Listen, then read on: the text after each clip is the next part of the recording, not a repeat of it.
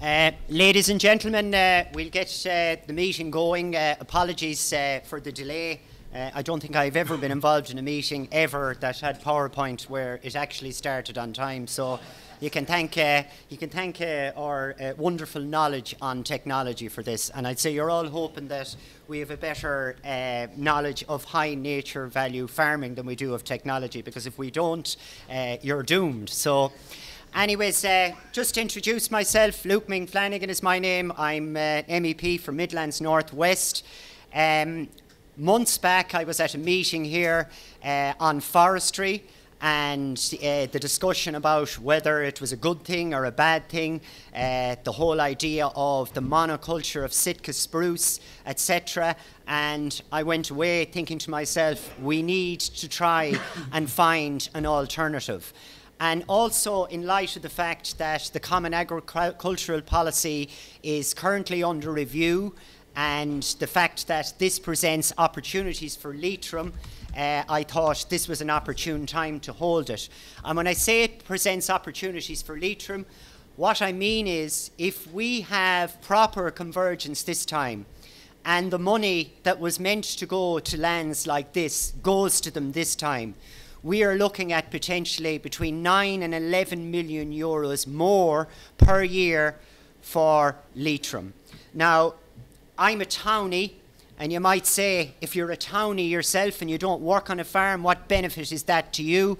Well, I think it's time people who are townies open their eyes to the fact that when farmers make money, they spend money locally when the grant money comes to the right people, the money will trickle down. And that 11 or 9 million euro will not stay in the farmer's pocket. It will end up in the pockets of hairdressers, not from me, obviously. It'll end up in the pockets of carpenters, like my father in the past, putting in fitted cupboards, etc. And it will end up where it should be, filtered through the farmer. So that's why it's so important to organise now and hold such an event. And we have, I believe, an ace in the pack around here. It could be seen as the joker in the pack if it's not played well by us and by uh, the European Union. And the ace in the pack that we have is that the European Union appears to be going down the road of benefiting these lands and giving more monies to these areas. So now is the time to fight for it. So I have a short piece to, uh, to read out to you, and then we'll go to our speakers. High nature value is a relatively new concept that describes the farming systems of Europe of the highest biodiversity value, namely around here. High nature value farming is characterized by long established, low intensity, and often complex farming systems. It utilizes local knowledge and uses livestock breeds and crop types highly adapted to local soils, vegetation, and climate. This is an important event in advance of the CAP Reform 2020, on which discussions are already underway in Brussels. It is important from two aspects. If we are to meet our target in climate mitigation, we must maximise our assets and our ability to reduce our greenhouse gas emissions. Equally important, we are to defend the cap if we are to defend the cap budget we must show that we are serious in our commitment to environmental measures and that is very very relevant now given the news that has come out that it will be cut uh, single farm payments will be cut by up to 4% and the agricultural budget will be cut by 5%. That is why now it is such an important time to prove, and at the right time to prove, that money needs to go to this area, but for money to continue to going into farming, it's got to go into the right areas. And one of the strongest arguments for cutting it at the moment in the Agriculture Committee and all the other committees is that it didn't go to the right place and it didn't come to areas like this. So, in theory, we have them on side. The conference also aims to encourage farmers to look at their land in a new light. We must move away from the notion instilled in us from an early age that the only worthwhile land, and therefore the only land worthy of support, is an acre of prime pasture land on an acre of tillage land or an acre of tillage land. Every acre of Ireland in Ireland has its vital role to play in overarching goals of food production, the provision of public goods, and this is vital. We provide public goods around here on climate mitigation, on water quality, and on biodiversity. These public goods that agriculture provides are not paid for by the market, and they include, as I've said, agricultural landscapes, farmland biodiversity, GHG mitigation, reduced risk of flooding and fires, water quality, as in no contamination by pesticides or leaching on fertilisers, water availability, maintaining groundwater levels, food security, reducing dependence on potentially unstable imported food chains. It is indeed the case that the most intensive sectors in agriculture trade on the green image created by the efforts of farmers managing our high nature value lands. This is also true for our tourism industry that benefit from the landscape created by others, namely yourselves. The conference also aims to challenge farmers to think outside the box, to no longer look at Natura designations, and I've got to look at myself here as well, or working with difficult terrain as a constraint, but rather as a marketing advantage, drawing attention to the pristine commodities. There is huge potential for quality branded niche products aimed at high value markets within Ireland and the EU. In our highly connected world of internet selling and online shopping, a short supply chain is not limited to distance or local markets as may have been the case in the past. A short supply chain can now mean produced in Achill Island or produced in Leitrim and sold in Brussels just as easily as it is sold here or sold in Mulranny. The link up here with the highly successful Wild Atlantic Way is obvious, creating food trails and other spin offs, and also the type of marketing they're trying to do in this area. It's also not necessary to reinvent the wheel to achieve these aims. Many of the farming practices currently being carried out are sustainable uh, from an agricultural and indeed from an environmental perspective. All good farmers understand the need for conservation, although they may not call it that. The importance of rotation, being crop or grazing, allowing the land to recover, is well recognised and predated the current concepts of conservation agriculture by thousands of years. You know the phrase, being put out to grass. What is not sustainable and must be challenged is the lack of support for farmers who work and manage these lands. And that is why now is the time to talk about this and to get that money that should have come to these areas. These lands must be farmed in order that they be maintained in optimal condition, and supports are available within the Common Agricultural Policy to do this. As the debate on the next round of CAP kicks off, farmers must demand and insist that their lands and contribution are valued and supported realistically. Guest speakers at the conference this evening are Mr. Humberto Delgado Rosa from DG Envi. We have a senior researcher on rural development from Teagasc, Áine Macken Walsh, and we also have a policy advisor from the World Agroforestry Centre, Patrick Worms. Um, we're here to try and learn of these people, to try and take what we can out of them. We're not just leaving it here today, having a conference, moving on and saying goodbye. Didn't I attract lots of attention? That's not what this is about.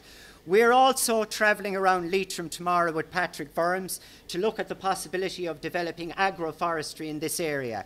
We're going meeting a variety of farmers. After that, we're not going to leave it there. You might be familiar with the Forestry Strategy 2014 to 2020. There was a mid-term review done on it. I'm not that impressed with the mid-term review that's done on it, but me saying I'm not impressed with it isn't a document to bring to someone to get them to change it. So what we aim to do over the next weeks or couple of months is to put together an alternative to that plan using the knowledge that Patrick Worms has and the massive support that I get as an MEP to go out there and pay for such reports. So we hope within the next month to actually produce a report out of the visits that we undertook today to the farms, out of what's said here, out of what questions you ask us, what ideas you put to us, and hopefully and ideally and essentially, because we've got to make this happen, because we want to stay living here, we want to stay working the land, we want this place to remain sustainable. And to do that, we need a plan. this is the beginning of that. So the first person up to speak here tonight is uh, Áine Macken Walsh from uh, Teagasc. She'll give you her exact title herself and we'll take it from there. Thank you very much.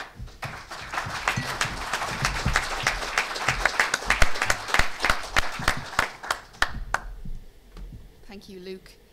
My name is Áine Macken Walsh. I'm a sociologist. I work for Teagasc. I'm based in Athenry. So I'm one of the team in Athenry in the Social Science Centre there. Um, and I focus mostly on the human side of things. So what farmers like, how they make decisions, their values, and that kind of thing. I'll speak into the mic, thanks. so, uh, just to fix this situation here once more so you can see it. Um, a couple of years ago, I was invited to be part of a focus group in the European Commission focused on high nature value farming. And I remember, you know, we all assembled. It's many of you, may, or some of you at least, maybe have, have been involved in these types of focus groups before. There were farmers there and policymakers and some researchers and um, a mix of people, and that's what they're designed to be. And the farmers who were, we were presented with this report about all the facts and figures about high nature value farming. And on the cover of the report, there was this picture. And the farmers, in particular, in the room, now they were from all over Europe, took great exception to this photo. And they said, This doesn't represent us at all. That's a kind of a banjaxed machine there that he's operating. Uh, it looks like something out of the last century. And that doesn't, doesn't represent who the high nature value farmer is. Now, we also had a discussion about, you know, the conservation farmer and what that means. And they weren't comfortable really with any of those labels. Um, so it was changed to something like this, and that was more acceptable to some farmers. But I don't think Irish farmers would necessarily relate to that picture either. But of course, we know that HNV land and you know these types of breed of animals, you know, they're they're not our breeds. That is a kind of a a romanticized version of what HNV, high nature value farming, is, and it doesn't really represent us. And as Luke already mentioned, you know, um, high nature value farm farmland isn't all that rare in Ireland. There is a relatively, you know, at least a mediocre probability that exi- it exists in the majority of the country. So HNV land, or whatever you might wish to call it, it can be actually more ordinary and typical um, than those types of pictures that we saw earlier that people mightn't relate to. And the, but the reality on, on a lot of these farms, however, is certainly far, far from romantic.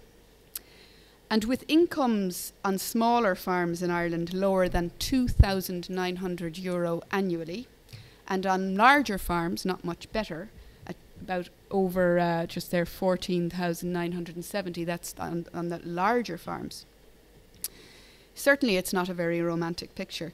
And because we're in the northwest this evening, these are the figures relating to uh, the area that, that encompasses this particular geographical area. And it's it, it, it's worth mentioning here, as, as clearly evidenced here, the the um, the average incomes in this area are no different really to the national trend, and more than half of farm households, um, uh, on average, are dependent on off-farm income. So that comes as no surprise to you. But these are the, the latest available statistics.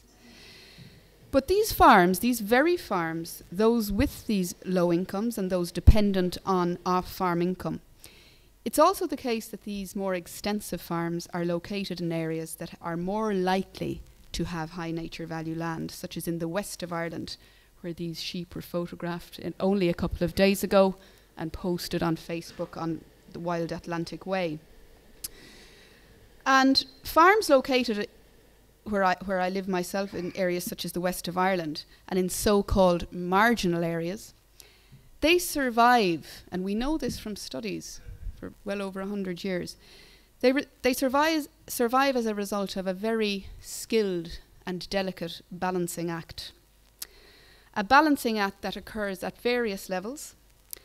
And research has shown that profit maximization, or the pursuit of short term goals, making the quick buck, that's not prevalent at all in family farming.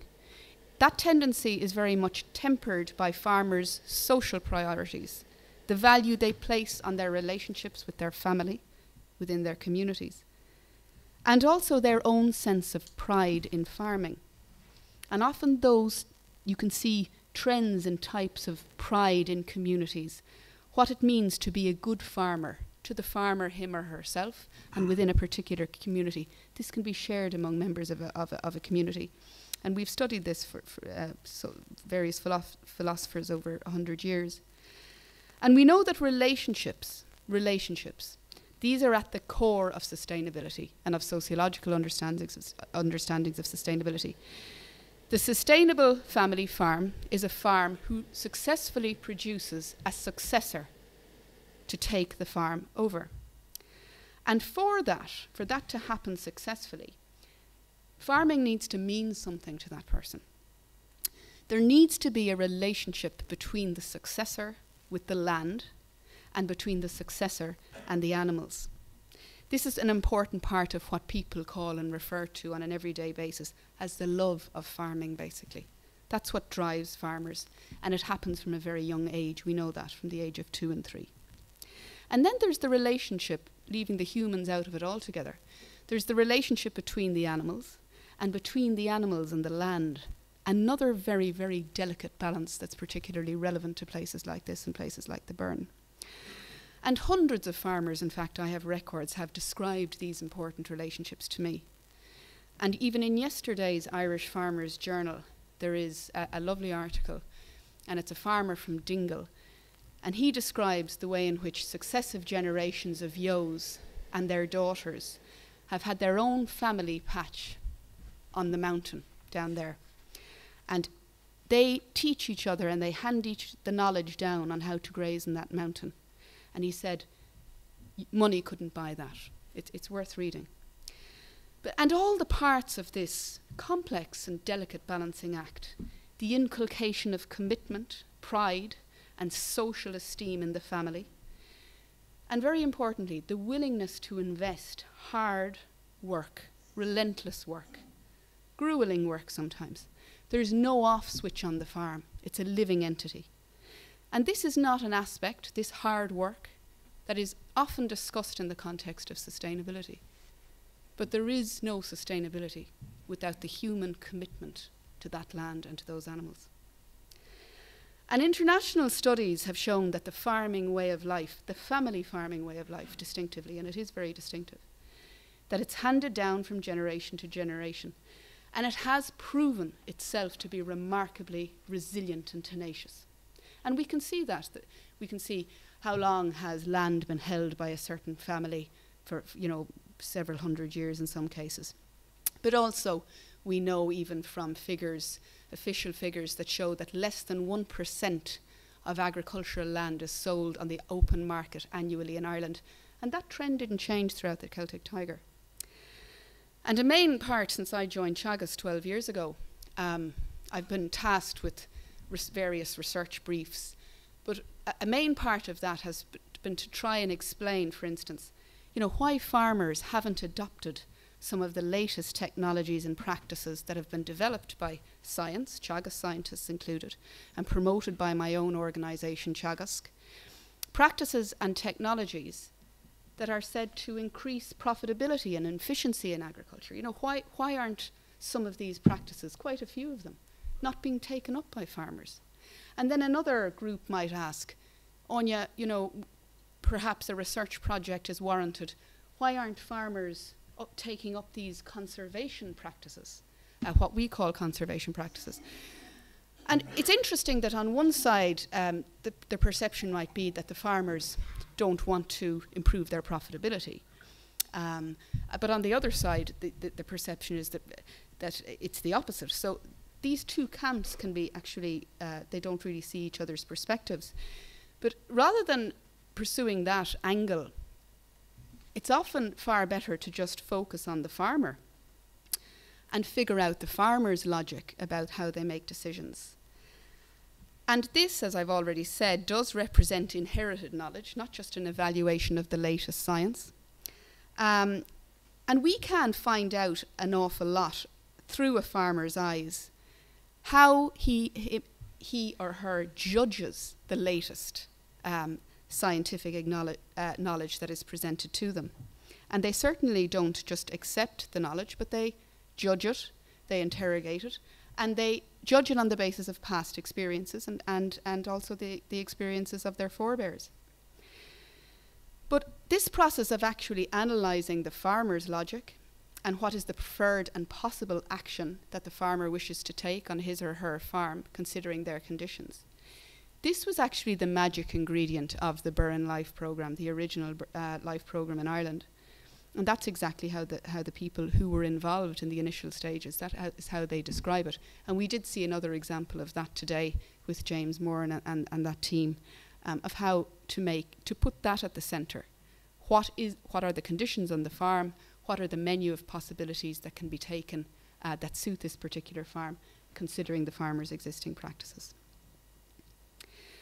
So, reflecting a little bit more on our day, our, on our day today, we were out in farms, we saw the landscape, and I, I occasionally hear, hear a view that's often just kind of said that if a good enough incentive is given out to farmers, you know, a high enough, say, financial incentive, that farmers will take it. No matter what it is, they'll adopt it and they'll take it up. Well, I don't agree with that at all, I have to say. But a more accurate version of it is if the relationship between, is broken between the farm family and the land and the farm, if that is broken, and we must remember that this relationship is, as I've already described it, is not just one of profit maximization. It's a relationship that's social in nature, that's bound up in the farmer's pride, and it involves this delicate balancing act, because that's what we know it involves. If that is broken, that is when the land becomes vulnerable to either disposal or sale. Um, because there is no successor or, or the, the, way of farming life has kind of lost its meani- meaning, or else the pursuit of short term goals occurs. So we know that well. But another way in which the, the, um, the link may be broken, this important relational balancing act between the family farm and the, and the farmland and animals. Well, we must, you know, not ignore the way in which a significant proportion of family farms now are dependent on off farm income. And that has worked quite well. And I don't know if you saw David McWilliams wrote uh, a paper there or an article in the press and he called it, you know, the children of small farm families will inherit the earth because they've prov- proven to balance, you know, their the most highly educated cohort in the country when it comes to third level education. Uh, they have off farms job off farms jobs. They are highly skilled, and yet they're farming and they're juggling all of this. But is that going to last? I'm just putting that question out there.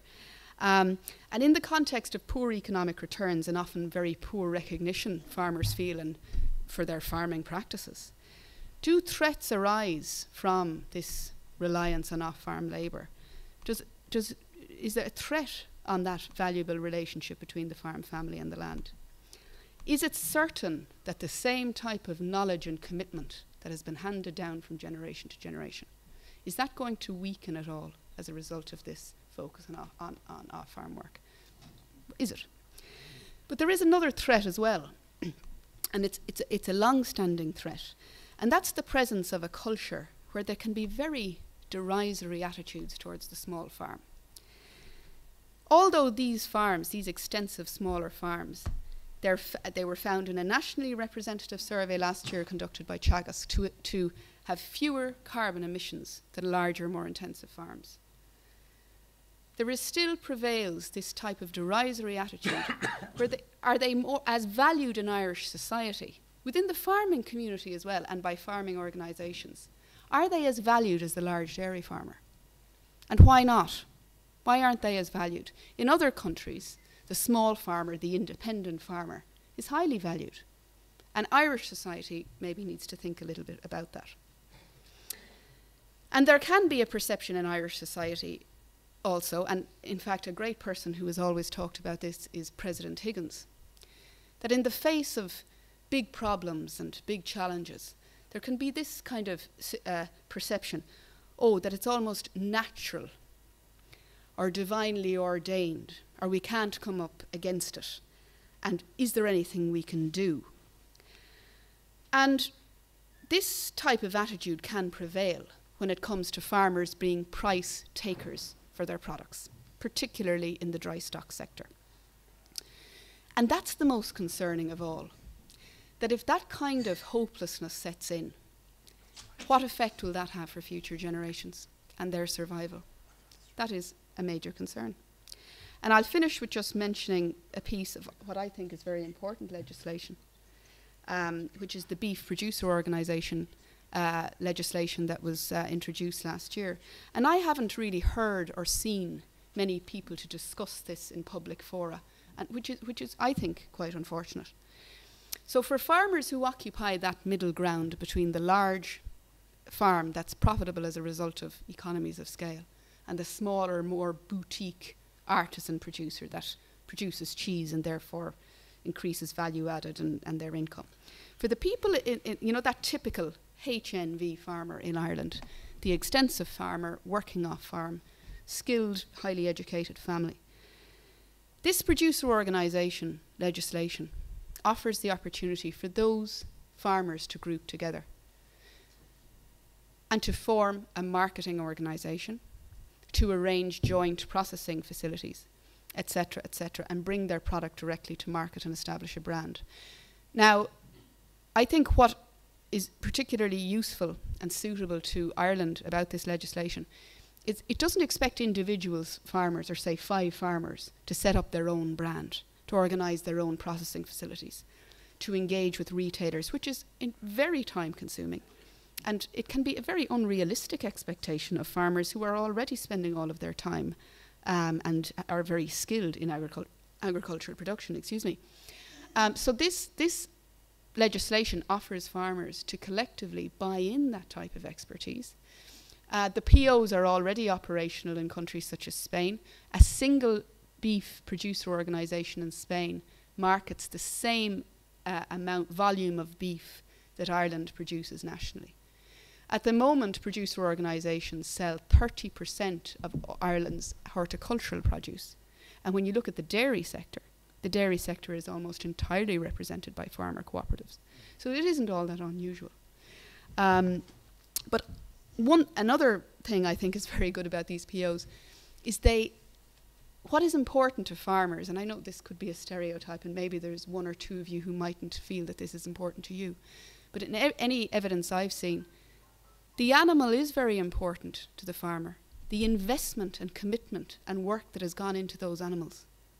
And it is important for the farmer, in addition to whatever payment that they get for maintaining HNV land, high nature value land, it is important that they get a fair price for that animal, considering its exceptional quality and the investment that has been made in it.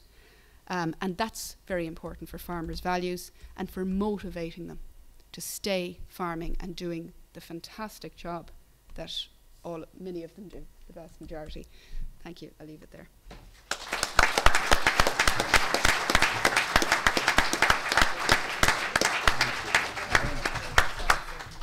Uh, thank you, uh, Áine. Next up is uh, Humberto Delgado from uh, DG Envy. And just on what Áine said on the producers, uh, the producer groups, producer organisations, uh, I think it's it's a massively important point. It, to me, it's it's basically the slingshot in the hand of David to take down Goliath, and it's what's needed.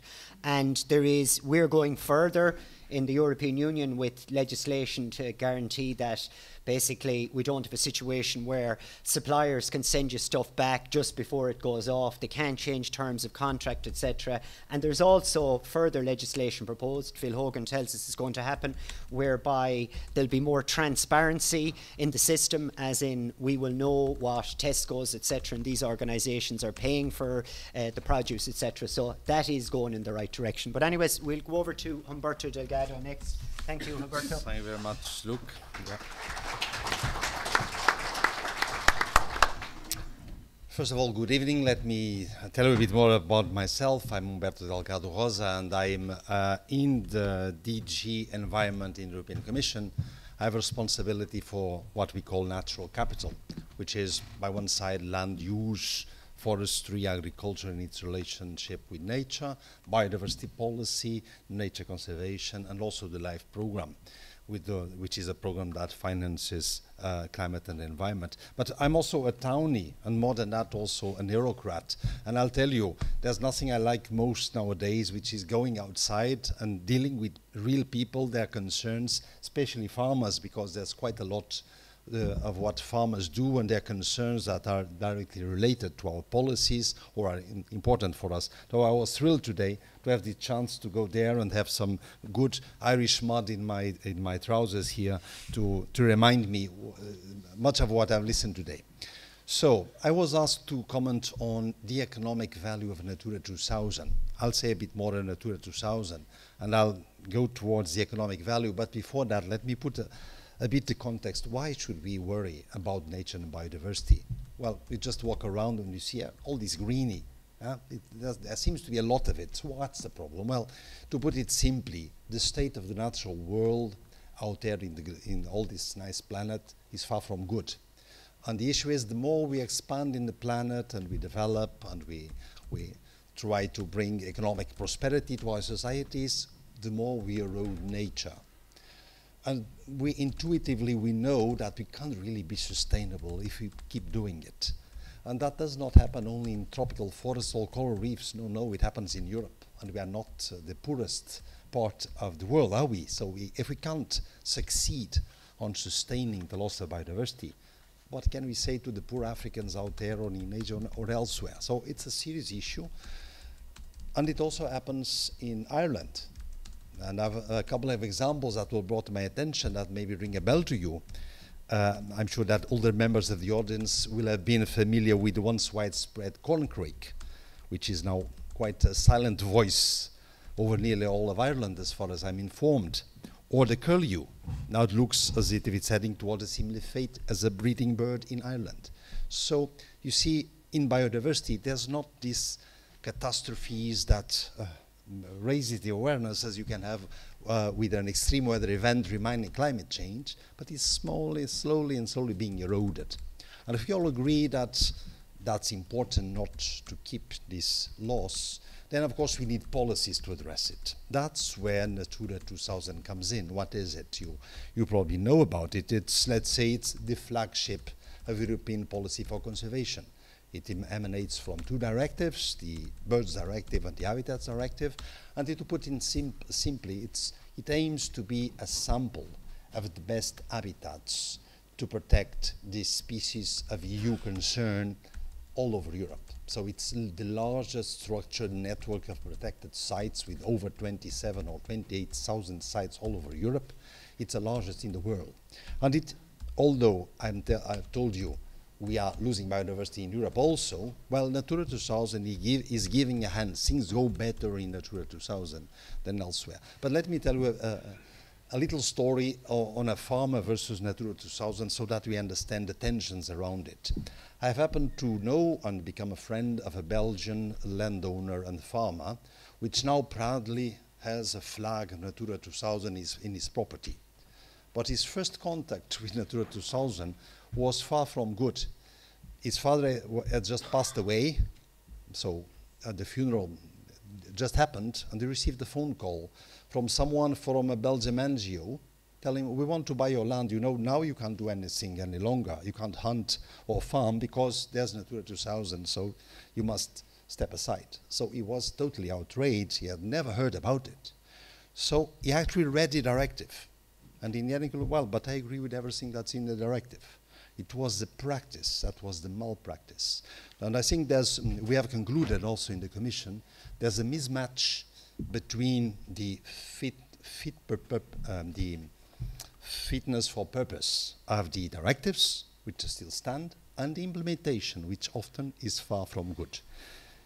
So my main message on this is Natura 2000 is not at all about strict um, reserves where we want to put humans aside. On the contrary, is to keep human activity that is compatible and often needed to keep nature. That's the essence of the concept Natura 2000. I'm pretty much aware that this concept is well, was not put in practice everywhere in the right way. And often, instead of saying to the farmers or the foresters, well done, you've preserved nature, you deserve congratulations, keep it going, it was kind of said, ha ha, now you have restriction, and that's all. So, but now let's be honest on one thing.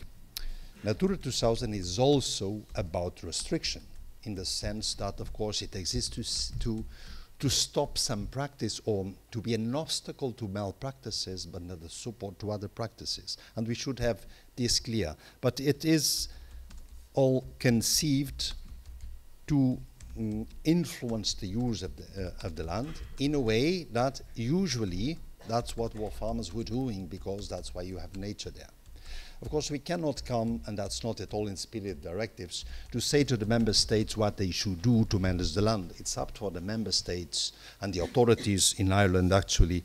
It's the, the National Parks and Wildlife Service, which is the which is the mm, authority responsible, it's up for the authorities to devise how they will address conservation. But we strongly recommend that's done through management plans that should be discussed and shaped with stakeholders, and especially those stakeholders that live from the land. The farm, the landowners, the, the farmers, the hunters that make a living from the land. Now, those are somehow special stakeholders, and we are now have we now have a nature action plan that will go until 2018 to be developed with the member states, where we pretty much favor and promote this approach of involving, you know, involvement.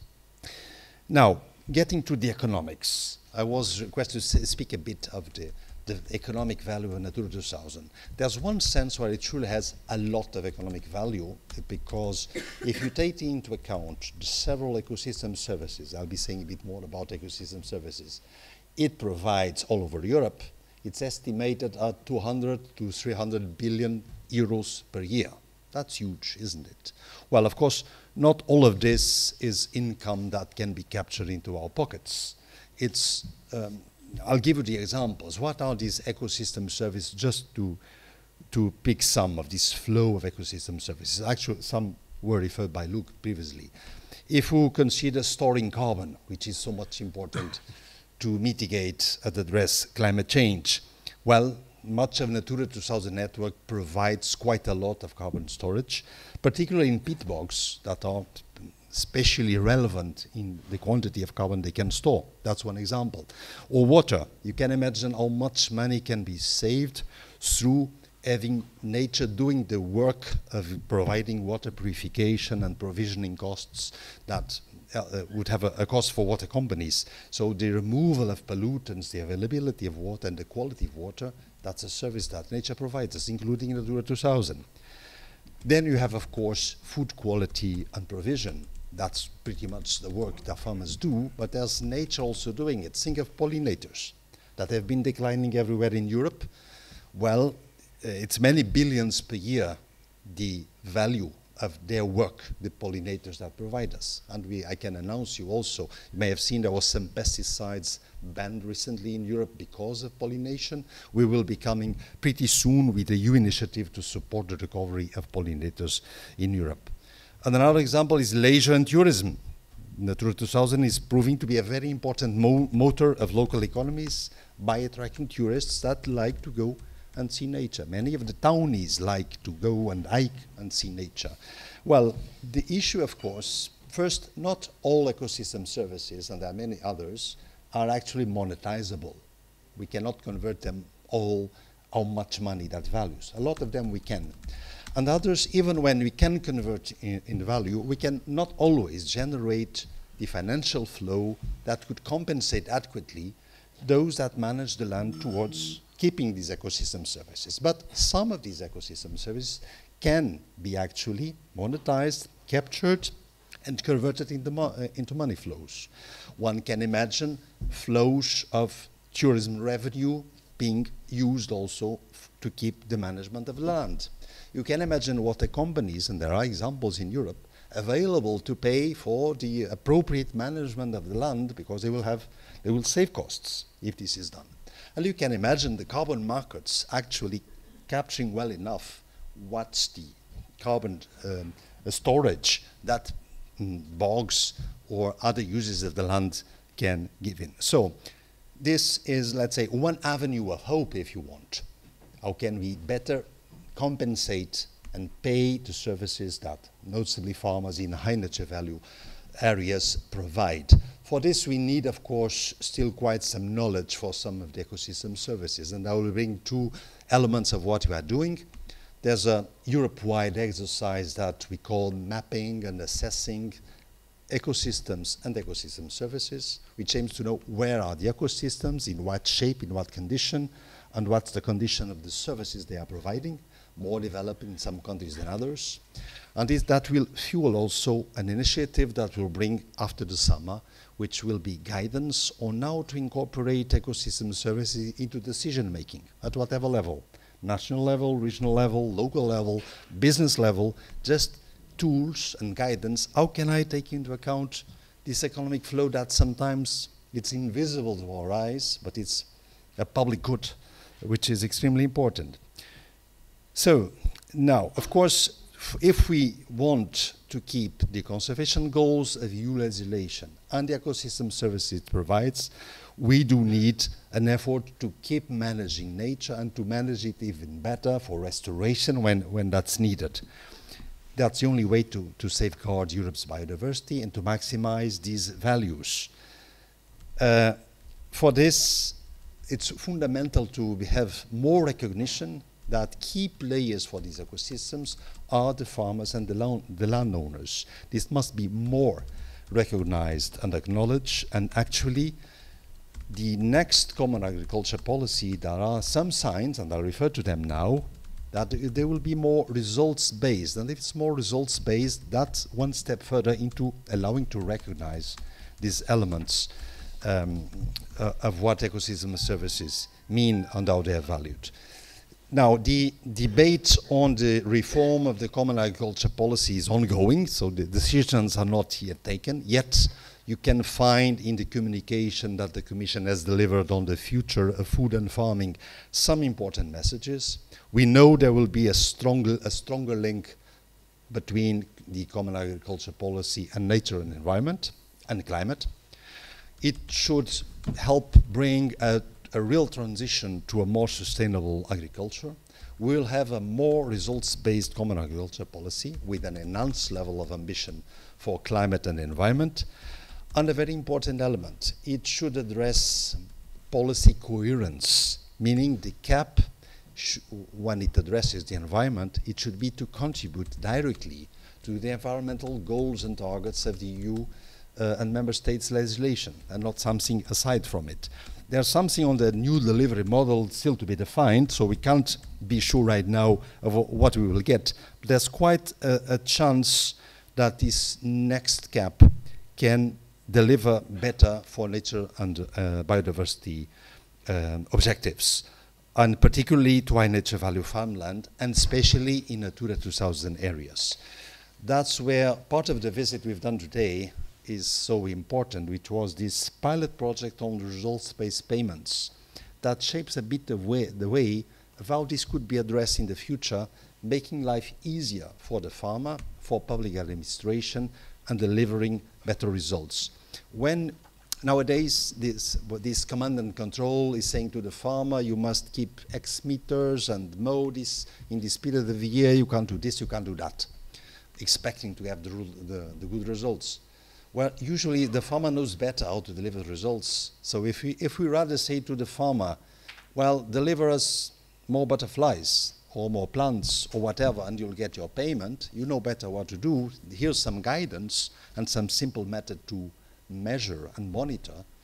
Well, I think that changes the, the, the picture psychologically for the farmer because he's again empowered to do with his land what he sees better. That's what I've liked the most of what we've listened today in our visit on this element. Um, now, aiming to, to stop, what I think is now the, the fundamental point is there's quite a good chance of having a CAP that more clearly steers towards taking into account uh, nature in, in farmland.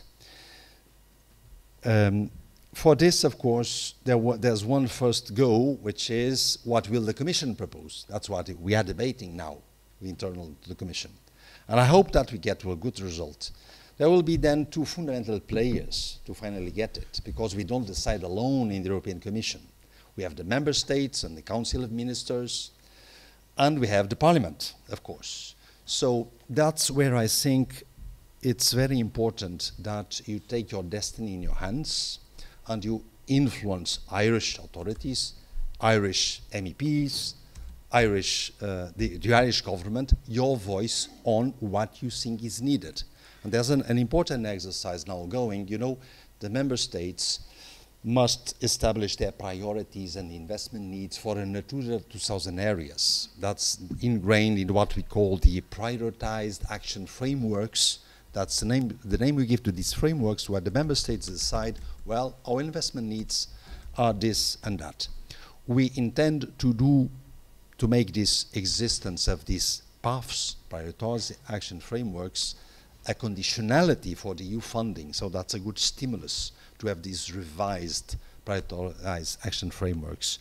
So I would encourage you very much through your representative bodies to engage in this process in Ireland because it can be pretty important to take into account in a different way what you may uh, feel and need here. A very final thought is an, another element of hope in my view which uh, runs as follows. We know the world of agriculture is complex. There are several kinds of agriculture and several views of what's the right agriculture.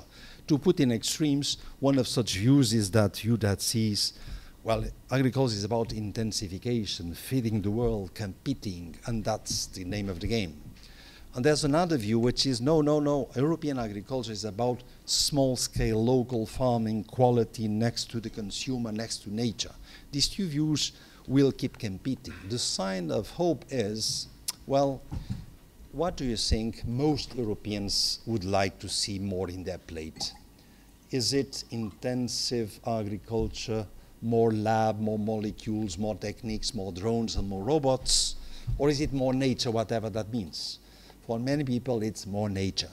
So many urbanites, many townies, where most of the votes are, actually have an instinct of being aligned with this high nature value farming that they don't understand. So I think the role for you, those that live in these areas, is don't expect just the townies to come and understand everything. Approach them. There's some potential alliance there, and the winds of history, I think, will blow in this direction. I hope quickly enough to have a right CAP in the next phase.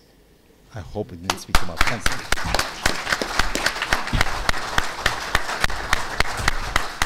Uh, thank you very much, uh, Humberto. Uh, when I was at that meeting here on the forestry, and some people afterwards were saying, well, you know, it was painted very black and white forestry is bad, no forestry is good. I don't think anyone was saying that. What really people were saying was there's a good way to do things and there's a bad way to do things. And there's a good way to engage in forestry and there's a bad way to engage in forestry. And the person that I thought of was uh, to maybe come and talk about that was a man called Patrick Worms, who's with us now from the World Agri-Forestry Institute. And uh, I've seen several presentations from Patrick, and uh, you don't get an awful lot of hope when you hear an awful lot of the commentary on farming and agriculture. But I have to say, I got a lot of hope out of what this individual said. Um, Ideally, he would have come yesterday, but uh, a problem occurred, and the idea was that we would travel around parts of Leitrim with him so he'd have more knowledge before he talked to you. He's going to do that tomorrow. He'll be feeding into the study uh, over the next couple of months, but uh, I'll present him to you now. Uh, Patrick Worms, thank you. Thank you, Mike. Now, I have to say, ladies and gentlemen, that if there's something that impresses me about Ireland, it is you. It's Friday night. You could be in the pub. You could be out in the clubs with your, well, for most of you, with your sons and daughters. but you chose to be here. That shows commitment. And it shows commitment to the betterment of the farming of the world. And you are allowed to fall asleep after. Why am I not seeing this? Sorry.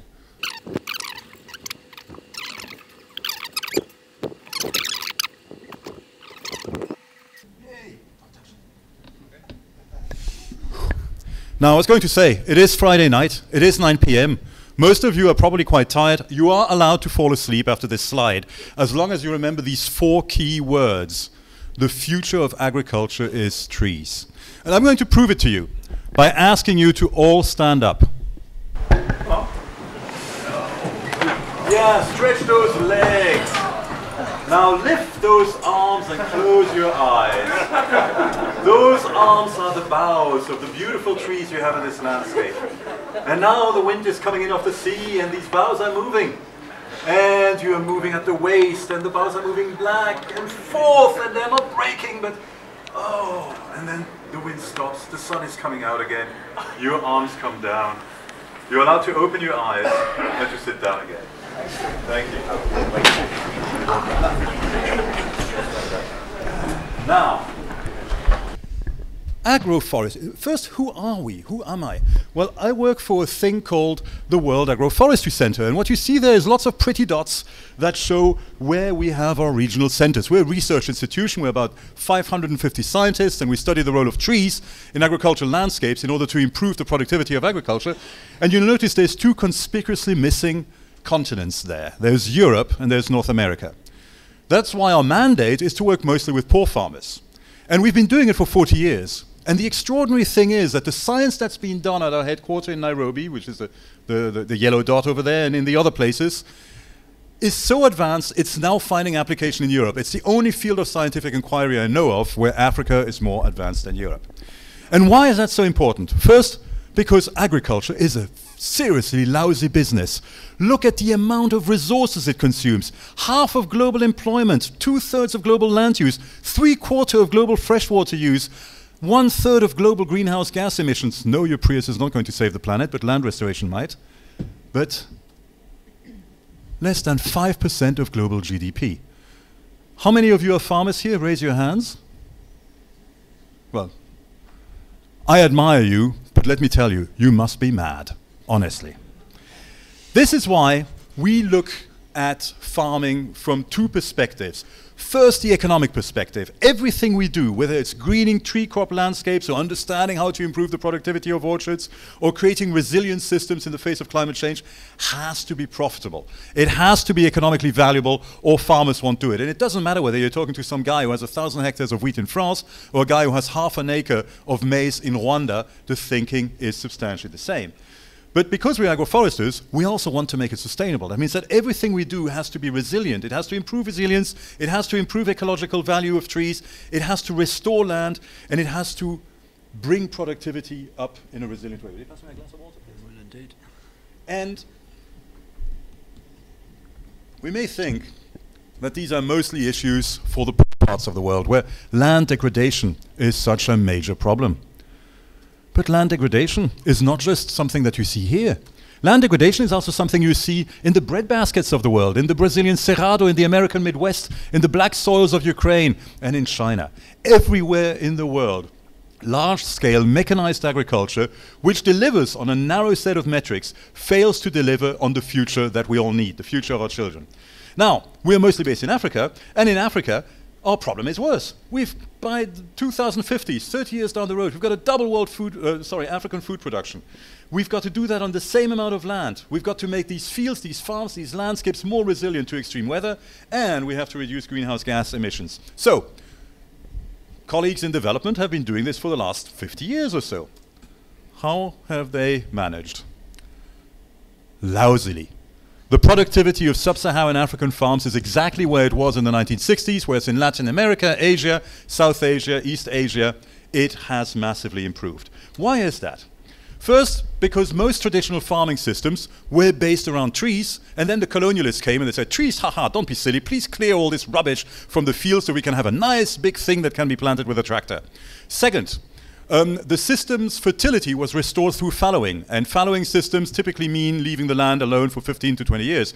That's fine when population densities are low, but population densities in Africa are very, very high. In sub-Saharan Africa, in Niger, for example, the average woman has 7.6 kids. 7.6 kids. And she has been having 7.6 kids since the 1960s. So in those environments, traditional farming systems disappear. So fertility is disappearing. People have no money for fertilizer, so life is getting hard. So where is that fertility going to come from? Well, if you listen to some people, it's going to come from massive investment in fertilizer. Well, yes, maybe, except that, here's an example from Zambia. Most of African soils are so degraded they're extremely acidic. And as you know well, acidic soils are lousy at making nutrients available to crop plants.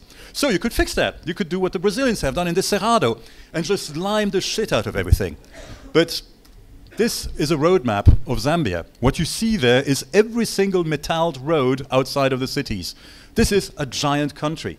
Most of the time, the roads look like this. Now, in that environment, good luck to get a truck to get to every farm with that lime and those fertilizers. And before we forget, Africa is absolutely enormous. It's as big as the European Union, India, China, and the US put together. So, where is that fertility going to come from? Well, as we've discovered, it's going to come from trees.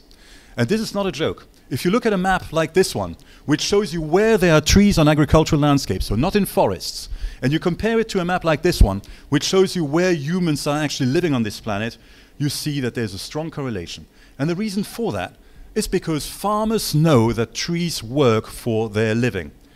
Everywhere in the world. Here's a wheat walnut system in France. Here is a timber coffee system in uh, Nicaragua.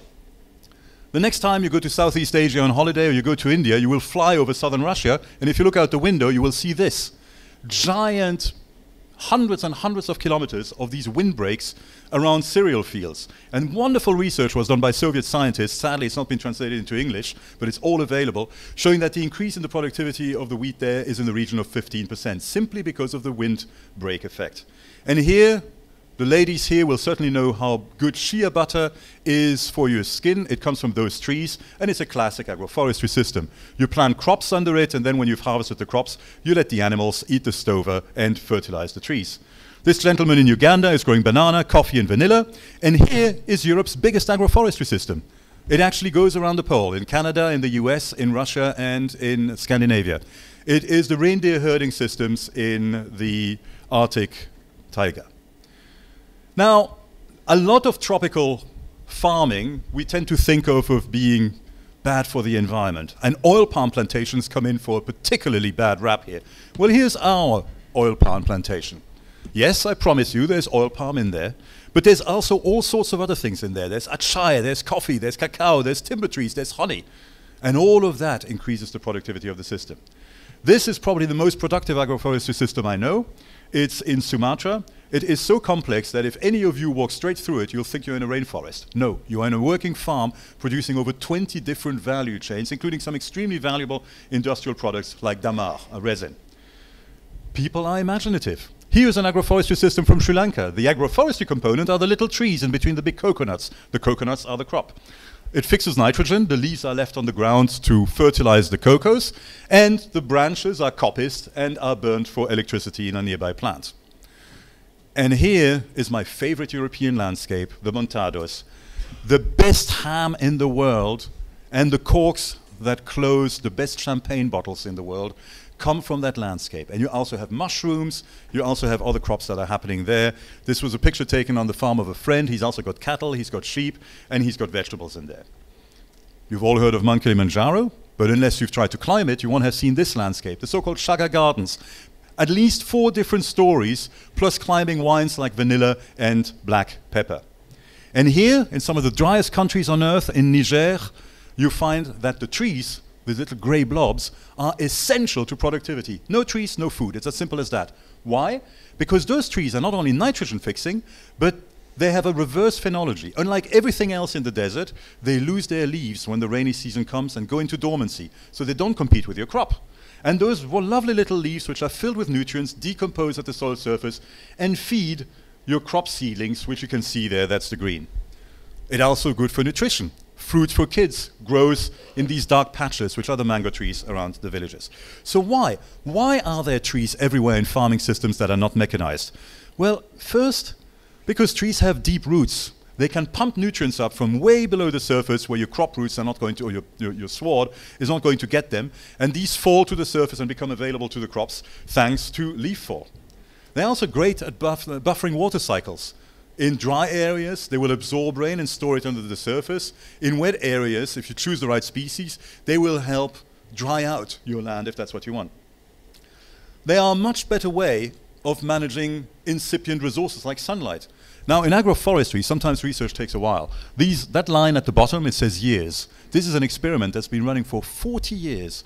And it was done in France. And what these guys did is they planted a wheat field and they measured the amount of sunlight that the wheat field used, about 20, 25%. They planted a forest, a walnut forest, and they measured the amount of uh, sunlight that the walnut forest used, nothing at the beginning, and then about uh, 55, 60% as the trees matured. And then they measured what happened when you mix the two together.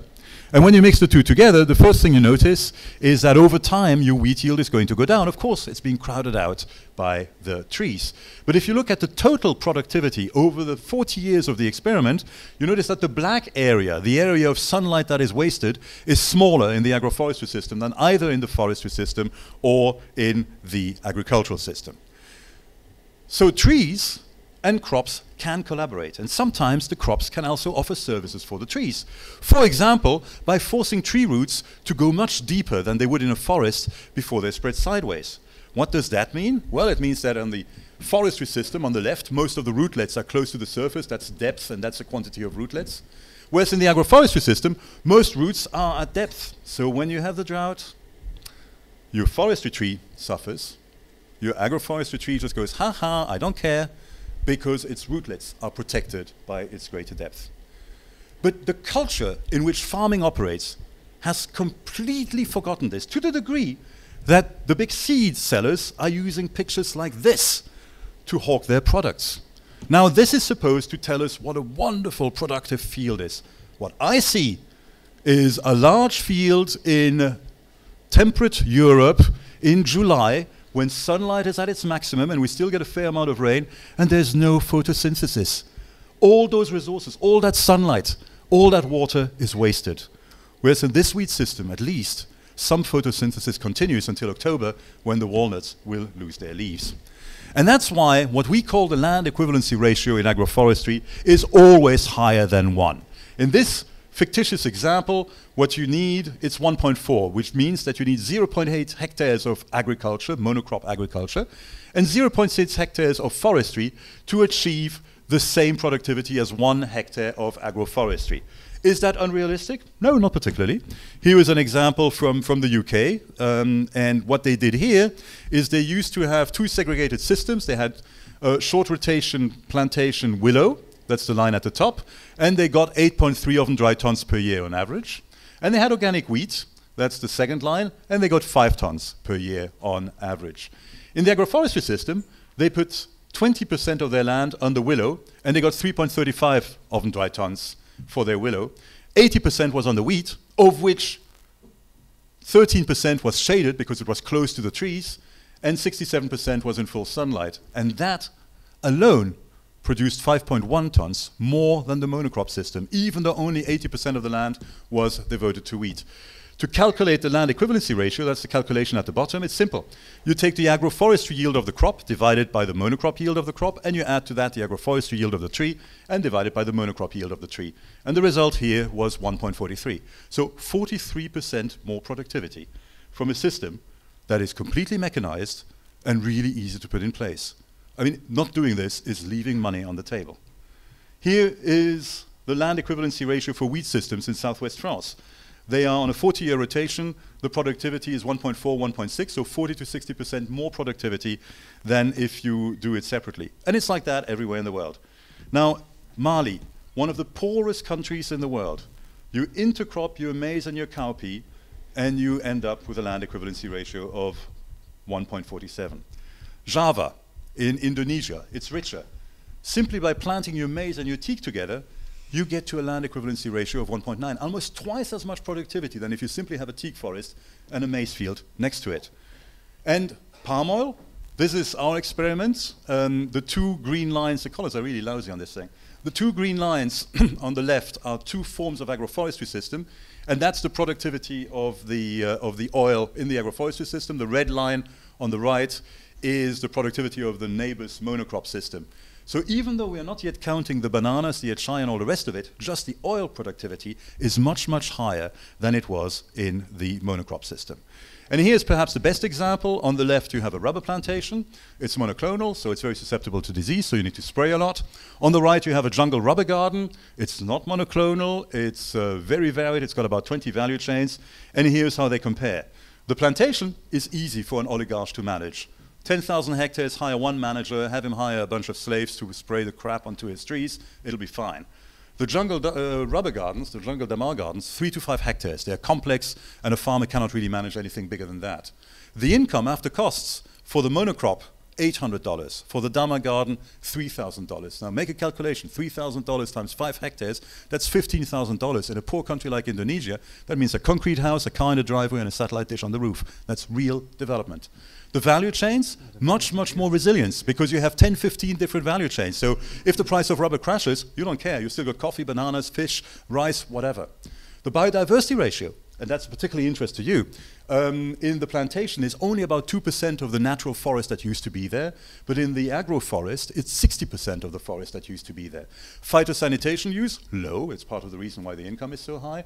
Social costs, low, because you're not working for the boss, you're working for yourself. And environmental costs, very, very low.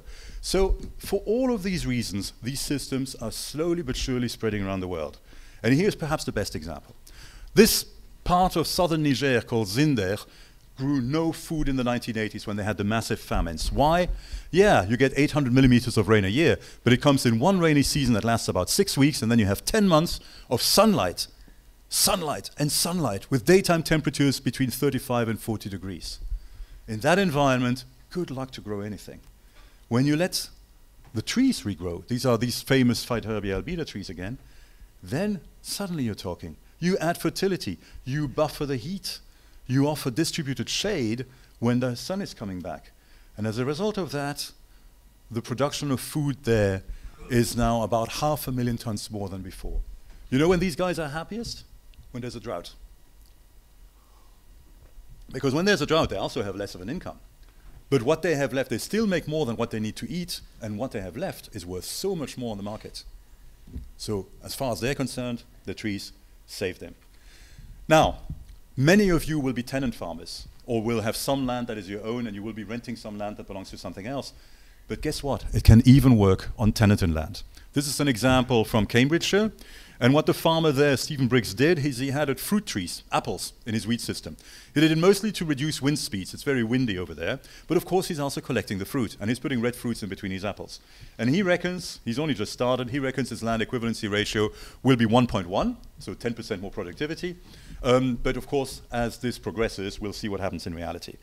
But it's for all of these reasons, because trees and crops and animals interact so well, that all of the best systems, when the experts sit down and figure out what the best ways are of increasing productivity, resilience, and mitigation, all of the best systems are the ones that involve trees. And the final picture I'll leave you with is a before and after picture from this Bamileke cocoa farmer in western Cameroon. On the left was his house before he went full on with agroforestry, and on the right is his house now that he's got lots of value chains. So for us, the yield gap lesson is absolutely clear. To get from the African yields, that's the blue line down there, to halfway decent yields, simple agroecology, remember to use the right trees at the right place, use the animals in the right way, will get you there. And advanced agroecology and some entrance, because you do need to add some fertility when some nutrients are absent, will get you all of the way back. And that's why the future belongs to small farmers. Now, I could have taken an image of a European small farmer, but I want to stress that it is in these environments that the future is being played out. Look at this data from the Food and Agriculture Organization of the United Nations. What they did here is they measured the crop productivity of a number of crops in a number of countries across all of the farms growing that crop. And they divided these farms into four classes classified by size. The blue line is the 25% smallest farms. The purple line is the 25% biggest farms. In every country, for every crop, the smallholder farmers are more efficient than the big farmers. Why? The big farmer sits in a tractor. He has to homogenize. The small farmer is like a gardener. He knows exactly what's happening on every square inch of his land and where he needs to intervene and how he needs to intervene. And by the way, if you think that's just an issue for poor countries, no. Same idea in the US. This is from the US Department of Agriculture. And they took it by median size category and they looked at average gross output and average net output. This is data from 1992. And as you can see, the bigger your farm is, the less money you make. So the way of making farming efficient is to ensure that small farmers have the tool to do their job. This, by the way, is also the way that East Asia developed. Japan, Taiwan, South Korea, China, they all broke up their big land holdings, gave small plots of land to smallholder farmers, and then provided them with advice, not inputs, advice. In 1960, Taiwan spent 10% of its GDP on agricultural extension. At the time, it was poorer than Ghana. Now, of course, it's a developed country. And the reason why that works is because agroforestry is more complex than monocropping. All farmers in a given environment planting the same crop on the same type of soil will achieve roughly the same kind of yield in a monocrop system. In a polycropping system, in an agroforestry system, it depends on how you plant the trees, how you prune them, what species you choose, how much work you put in, etc., etc. So while the majority of farmers are going to find their productivity going up, there is going to be a non-negligible fraction of farmers who are going to get it wrong in one way or another and who are going to suffer. So this is why knowledge is so important. And that is why of these two individuals, this is the man who has done more for African farming, despite not spending a single penny on African agricultural research, whereas this guy, of course, has spent tens of billions of dollars on African agricultural research. And the reason is simple it's this. Small scale farmers, farming as a business, is a closed Facebook group for Zambian smallholders. Up there it says 321,000 members, and I took that picture in December. Down there it says 393,000 members and I took that picture in March. This means that these little, to- oops, these little toys are now spreading in the landscape, and they're helping farmers to talk to one another, to trade, to give each other advice, to help each other succeed.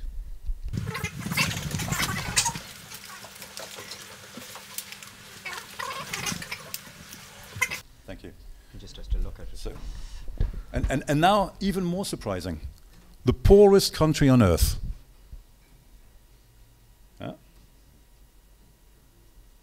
Okay, trust me, the next slide is about the poorest country on earth.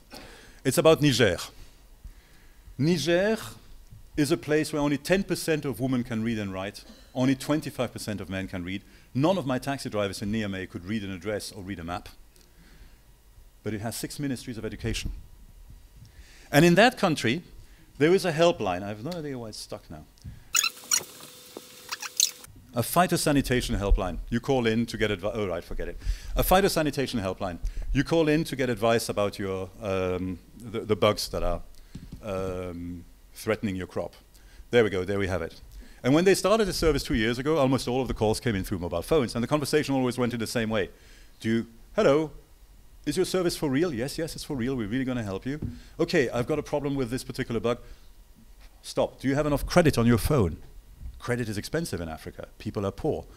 And so the conversations were slow. Now, the orange line, most of the calls are coming in through WhatsApp. And WhatsApp is great in a country in which nobody can read and write because you can send pictures. You can send pictures of the bug that's on your, uh, uh, uh, on your tomato plants. You can get a picture of the product you have to buy to deal with it. You can send audio files that people can listen to when the communication is broken again and again about interventions. And so that is absolutely extraordinary. Both of these products are Facebook products, and both of these products are making a massive difference to her productivity. That is why she, ladies and gentlemen, is the future of precision agriculture, not a machine. So if you look at the way that we think of farming today, yeah, it works in terms of producing food.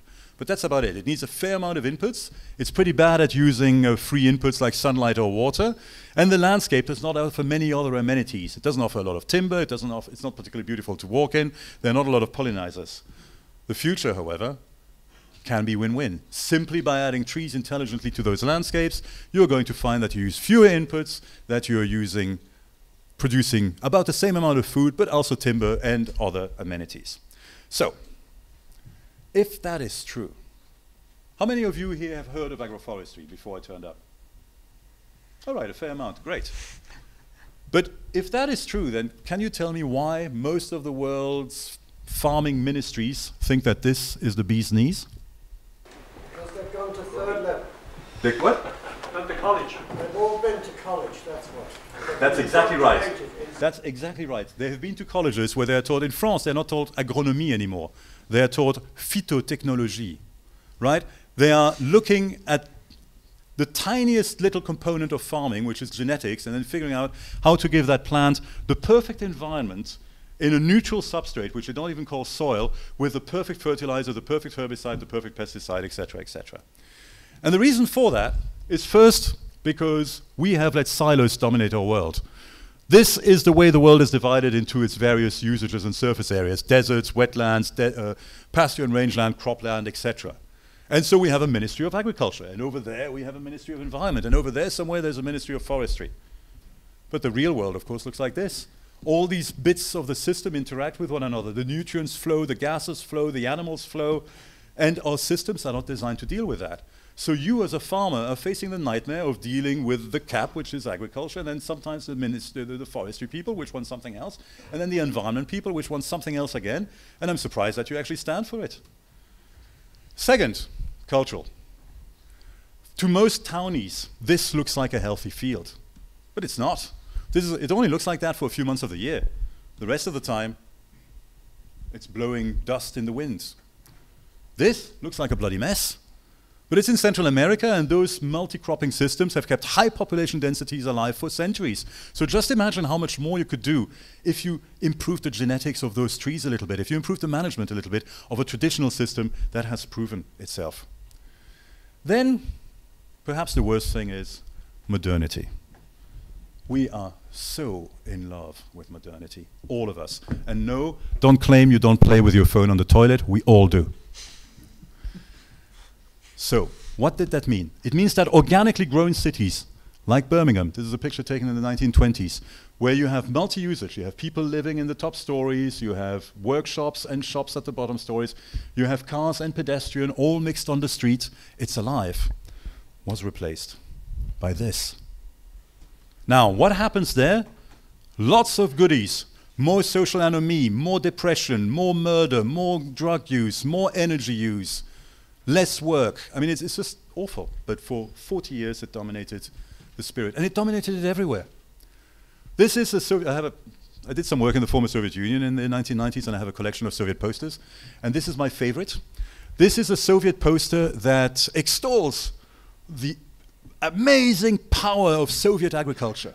And what you see in the background is a fertilizer plant, and in the foreground is a line of red tractors with the proud words, one million tractors produced this year. It's about agriculture. There's not a bloody plant in that picture.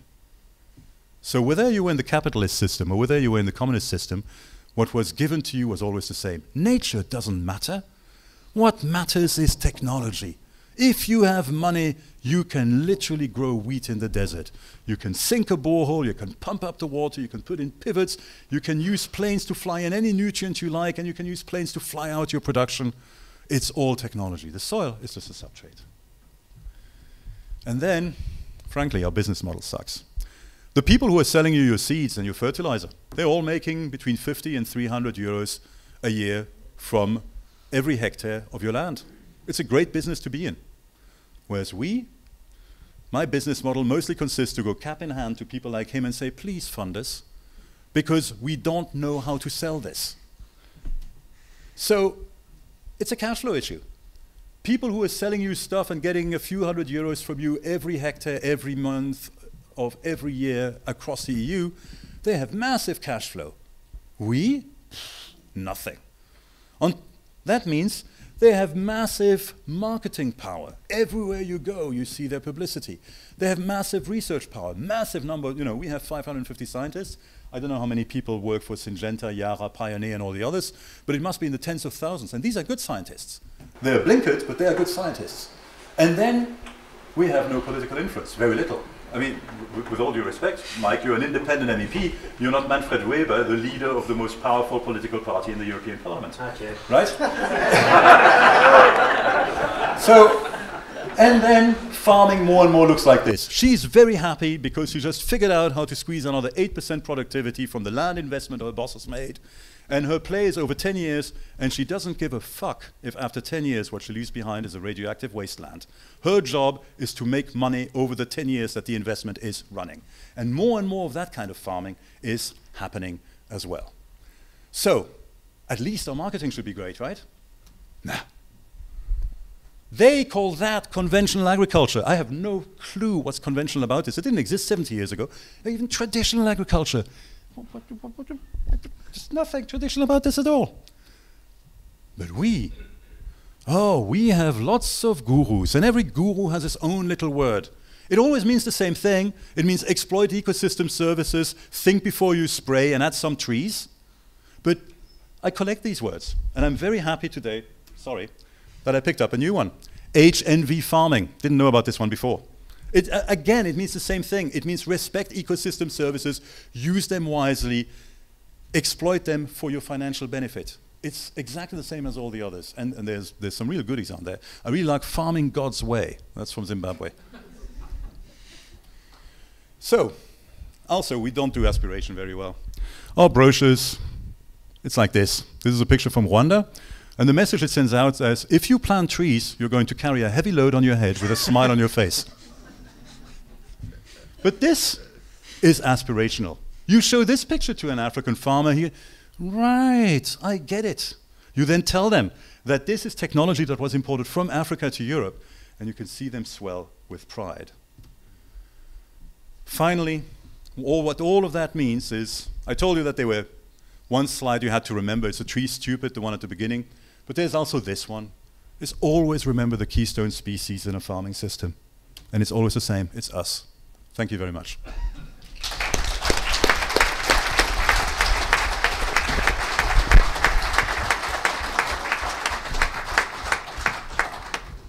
Uh, well done, uh, Patrick. And uh, the one line that I'll take out of what you said there, and it's probably the most important line because if it isn't the most important line, that was irrelevant. You said it's like that everywhere in the world, as in when you were talking about increased productivity. And what I want to try and explore, and hopefully we can explore, is through working with yourself and working with someone else that we, as I've said earlier, there is a midterm review of the forestry strategy. That we apply this logic and this science and these ideas into a new midterm review. Because as i've said originally no one came in here and said oh forestry is bad. No forestry is good. You're all more nuanced than that and we see it here there's good forms of forestry and we look out the window here not too far and you see very bad forms of forestry so what i hope to get out of this is that we can produce something that we can then present maybe in four, five, six weeks' time, present it to uh, DG Agriculture, present it to DG Envy, go to uh, the Department of Agriculture and present it to them. And it's all very well saying, well, there is a better way, but to produce a document that shows there is a better way would be a very, very good start. Now, no one is saying there are any silver bullets. There are never any silver bullets, but there's definitely a better way. And when I said I hear an awful lot of stuff and you'd end up depressed after listening to it about farming, I don't think you'd be depressed after listening to that. It might not have been the fields in Leitrim, but it showed you, like if you have a situation where farmers in Indonesia are getting 3,000 euros profit per hectare, it's one of these things you hear and you go, I had to have heard it wrong. And then you hear there are farmers in Leitrim earning 3,000. Now, I'd say it's not the most expensive place in the world to buy a house or anything like that, Leitrim, but I'd say it's a bit more expensive than living in Indonesia. And if it can be done there, it can be done here. How it's done, you could put up your hand now and ask me, how is it done? And I'll be blank. I don't know exactly. But we have the start of something here to try and find out. So, look at, I'll shut up now and uh, I'm going to throw the floor open to questions. You don't want to be here all night, I presume, so we'll do it for maybe a half an hour of, of questions, and you can ask any one of us uh, a question. You're probably better off asking them questions because they'll give you a better answer. But whatever you want to ask. So uh, John will go around with the mic there and uh, stand up and point your question to the particular person if you have a particular question.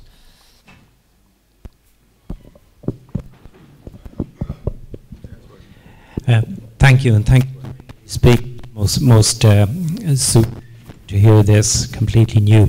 I'm Liam Breslin, and Good Energies uh, Leitrim. Uh, and you talked about tourism and so on. Uh, Atlantic mentioned twice. Um, just to let you know, it doesn't touch Leitrim that much, and we're going to have shortly the Beara Breffni Way, which will go all the way from the very south of the country and allow us to uh, exploit the tourism and show off this, this natural value that we have.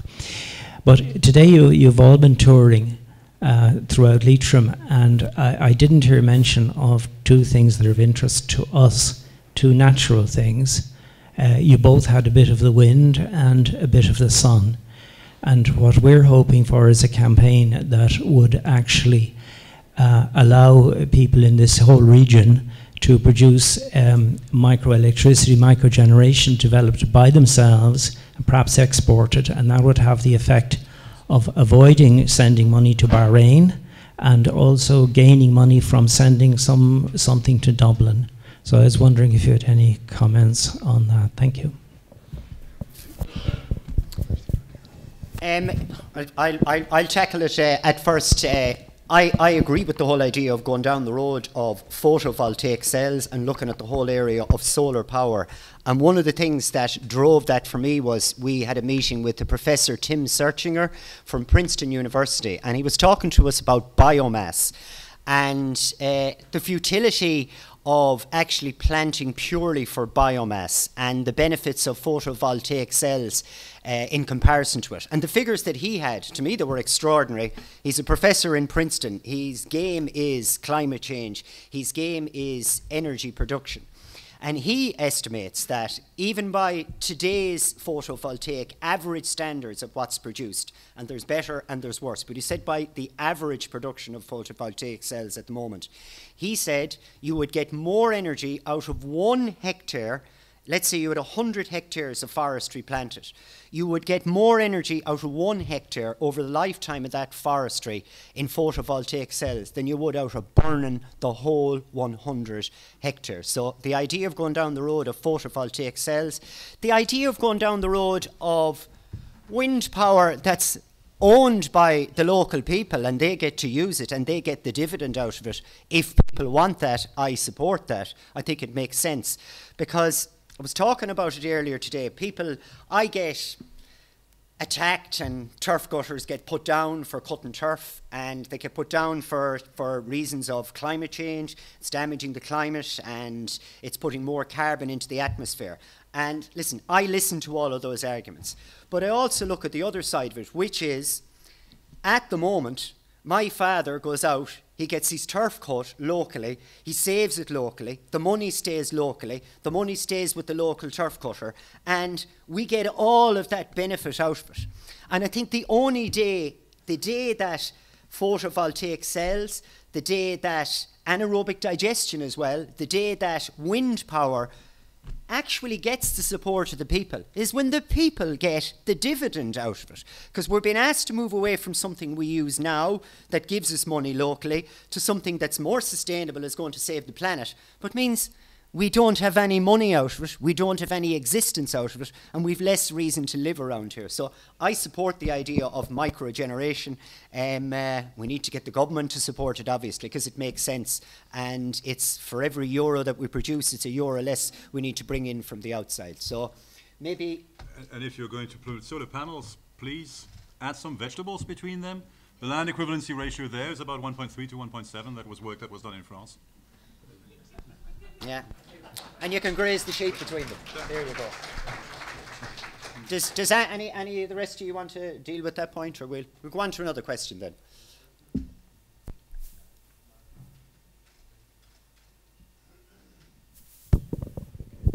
Um, Michael McManus, um, Leitrim Organic Farmers, um, farmers and growers, I should say. Again, my question is more uh, addressed to the Teagasc rec- representative here. Um, it was really fantastic what you put up there. I think it's the first time I've ever heard anything like that coming from Teagasc, that there is that kind of an understanding of farming within Teagasc um, from a social, socio-economic platform. But one of the questions I suppose that I have always been asked is uh, why don't you get a proper job? I've been asked that from I was a child, believe it or not, and that says quite quite a lot of the view we have in Ireland of agriculture. Um, I'd also want you to uh, comment on. I remember our farm where we had a mix of um, dairy cattle and sucklers and so on. And I have to say, I'd agree, it was much more productive than it is now. There was a sort of a, a tendency to go down the route that you had to be one or the other. And I just make the comparison of efficiency, and I won't tell the big long story, but I was talking to a vet um, only two days ago who, who did her thesis or so on um, in America, or, or I think it was maybe Canada. And uh, she explained to me they were very efficient. They had large herds. Uh, the cattle were on antibiotics from the day they were born until the day they finished with them.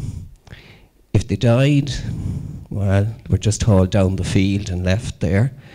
Um, it was a really efficient system, food production system. But we're not going to compete with that, and I wouldn't like to see us, and I certainly wouldn't want to be a farmer doing something like that. But that's what we are faced with if we want to go down that route, and that has to be wrong. I'd like you just to comment on that. Thank you. Áine, do you want to take that? Yeah, thanks for your comment. Um, I suppose just like Patrick's conversation about the agility and diversity of these farming systems, when different species are combined in in either following scientific advice, but also I, I've seen these types of systems maybe historically and in the post-socialist context as, well, as well that come from tradition, um, driven not only by maybe wisdom as to how to cultivate or rear different animals together, but also um, a, a an intention and a desire to be to be self-sufficient and to be secure in one's own family and within a community. And I think it was kind of the farming community where we're told not to pursue that, that that was kind of backward and you should really try and become more efficient and larger scale. And there are interesting studies in Canada um, that they call it milking anomie. And you mentioned the, the term so social anomie, and you know essentially that once the relationship between the farmer and the herds is broken. I mean, I've interviewed lots of large dairy farmers in Ireland, and it's very interesting that um, they mightn't have names for the, the cows anymore, but they know all their tag numbers and they know their behaviours. Not just the farmer now, all the children, the wife. They still have that relationship, a very, very close relationship with their herds. But studies have shown internationally that there is a certain tipping point. Once the herd gets over a certain size, that goes. There also, just what you mentioned, the sociological studies, there's an acceptance of mortality. Um, you know, and you know, the event of an animal dying on a farm is highly traumatic for a farmer. Um, but th that there's that distance. So I, I agree. I, I don't know what else to say, only to say that I agree with you. Does any, any of the other two want to say anything about that, or we move on to another question? Do you want to talk, Patrick? No? Um, and if anyone wants to make a statement as well, do. You have as much right to make a statement as any as us, so it doesn't have to be a question. Can I just add one thing to that, if you don't mind, yeah. because just somebody here reminds me of it the Heritage Fishing Bill. And I think that's another um, very, very important policy development. And I would like to see a heritage farming bill. Yeah. And it's all about that relationship. Coastal fishermen, the relationship and care they take of the inland waters, their knowledge of it, of every inch of the of the area beneath the sea, uh, near to there. That's all handed down as well. And I've seen, you know, the care they take of, you know, the V notching. That's a very popular scheme. Um, they re very readily engage in it so that the female lobsters aren't, you know, they notch them and put them back. And they have this this this kind of care uh, towards their environment, but also you know stocks, and I think that should be equally acknowledged and, and preserved and respected. Just to mention. There, there's your push, Martin. Now a heritage far, a farming bill. So uh, very good. Uh, it makes it makes makes an awful lot of sense. And I always remember watching Glen Glenroe years ago, and it was all a big joke. Dinny went out and he bought the five dozen eggs and he dipped them in cow shit and he went off and he sold them to everyone at double the price and people were laughing. Well, 58% of the egg market in the UK now is free range. People walk into a shop and they go, that's more expensive than that. But I'm making a choice. More than half, nearly 60% of the people, nearly two thirds of them, are going, I prefer the way that's produced. And we can do that with other products. People don't have a particular thing with eggs that they want them to be special. They just like to know that the food is produced in the best possible way. I think we do it already. It's just we don't have the label on it or we don't seem to be entitled to a label. So there is more potential to make a living off that type of farming as well because people like me are more likely to buy that type of food because when I walk into a supermarket, I have more than one job, not just to feed myself. I've also got to make sure, well, I put it like Lidl go on about a living wage and Aldi go on about a living wage. Living wage for the people who are working there. What about a living wage for the people who produce the, pro- the produce in the first place? And I think the best way to do that is this added value, this extra brilliant product. Call it free range eggs, call it heritage, call it what you want. Well, what they actually call it in the UK now is woodland eggs. And that's the fastest growing segment of the organic egg market in the UK. And it is a little bit of an additional income for the farmers. And the advantage for the farmer of having woodland with his chicken shed is that the chickens will actually leave the shed and go out into that woodland when they tend to congregate around the doors in an open shed because of the ancestral fear of raptors. So that's obviously not the story that's sold to the customer, but the customer sees a beautiful picture of a woodland with little chickens running around inside it and is ready to pay a premium. And this is the fastest growing egg market in the UK at the moment. So, another question? Sorry.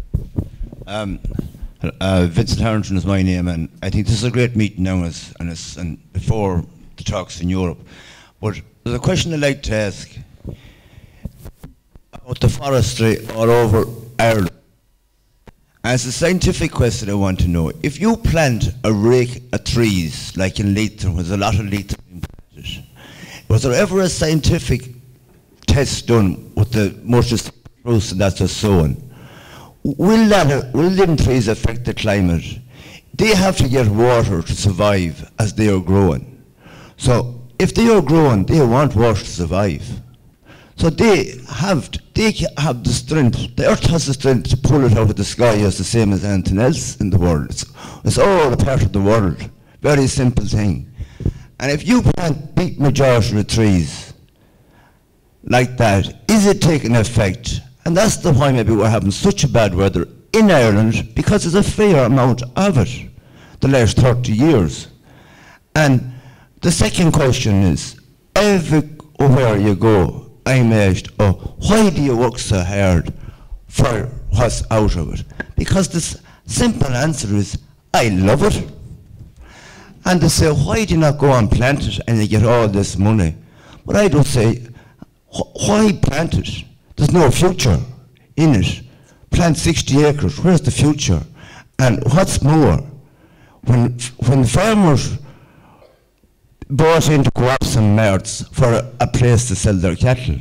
Why do these people that's now planting acres and acres of forestry and that has only drawn it for grants, planting it for grants, why are they not made paid into a cooperative that the factory me, uh, you were probably in, in, in the Roscommon County Council when it was sold I would say, boy, made four, four million.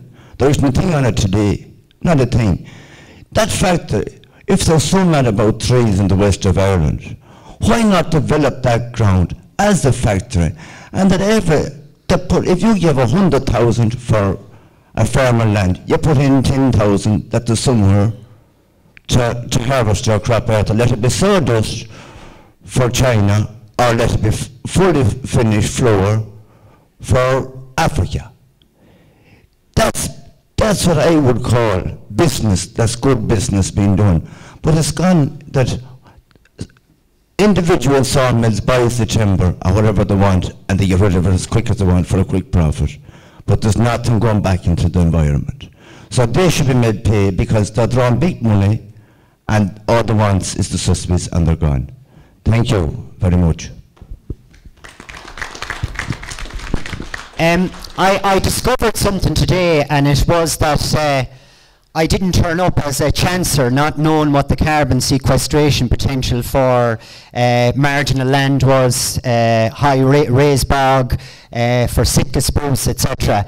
And I have figures, estimates, 45 tonnes per hectare for uh, raised bog, figures of 12 tonnes per hectare for Sitka spruce, but I found out today that uh, it's not only me who isn't definite about this. We don't have a lot of accurate figures on that. As in, we don't definitely know. There is ways to find it out. We can set up measuring stations, and we should most likely we should be doing that because it's very hard to make it. It's like driving around in a car with no speedometer on it. You can have an idea of how fast you're going, but really you don't really know. So okay, we, we, we have a very good idea that it doesn't make sense from a carbon sequestration point of view to plant Sitka spruce on raised bog, but we need more detail on that. We, know, we need those figures done because we don't have a way of actually definitely saying whether it's good or bad. But we do know from science that it it does sequester an awful lot of carbon, this wetland, but we need to find out the exact figures. Maybe uh, someone can tell us, are they going to do this? Or maybe James, I was James Moran, maybe he might want to talk to it. But uh, anyone here want to say anything about it?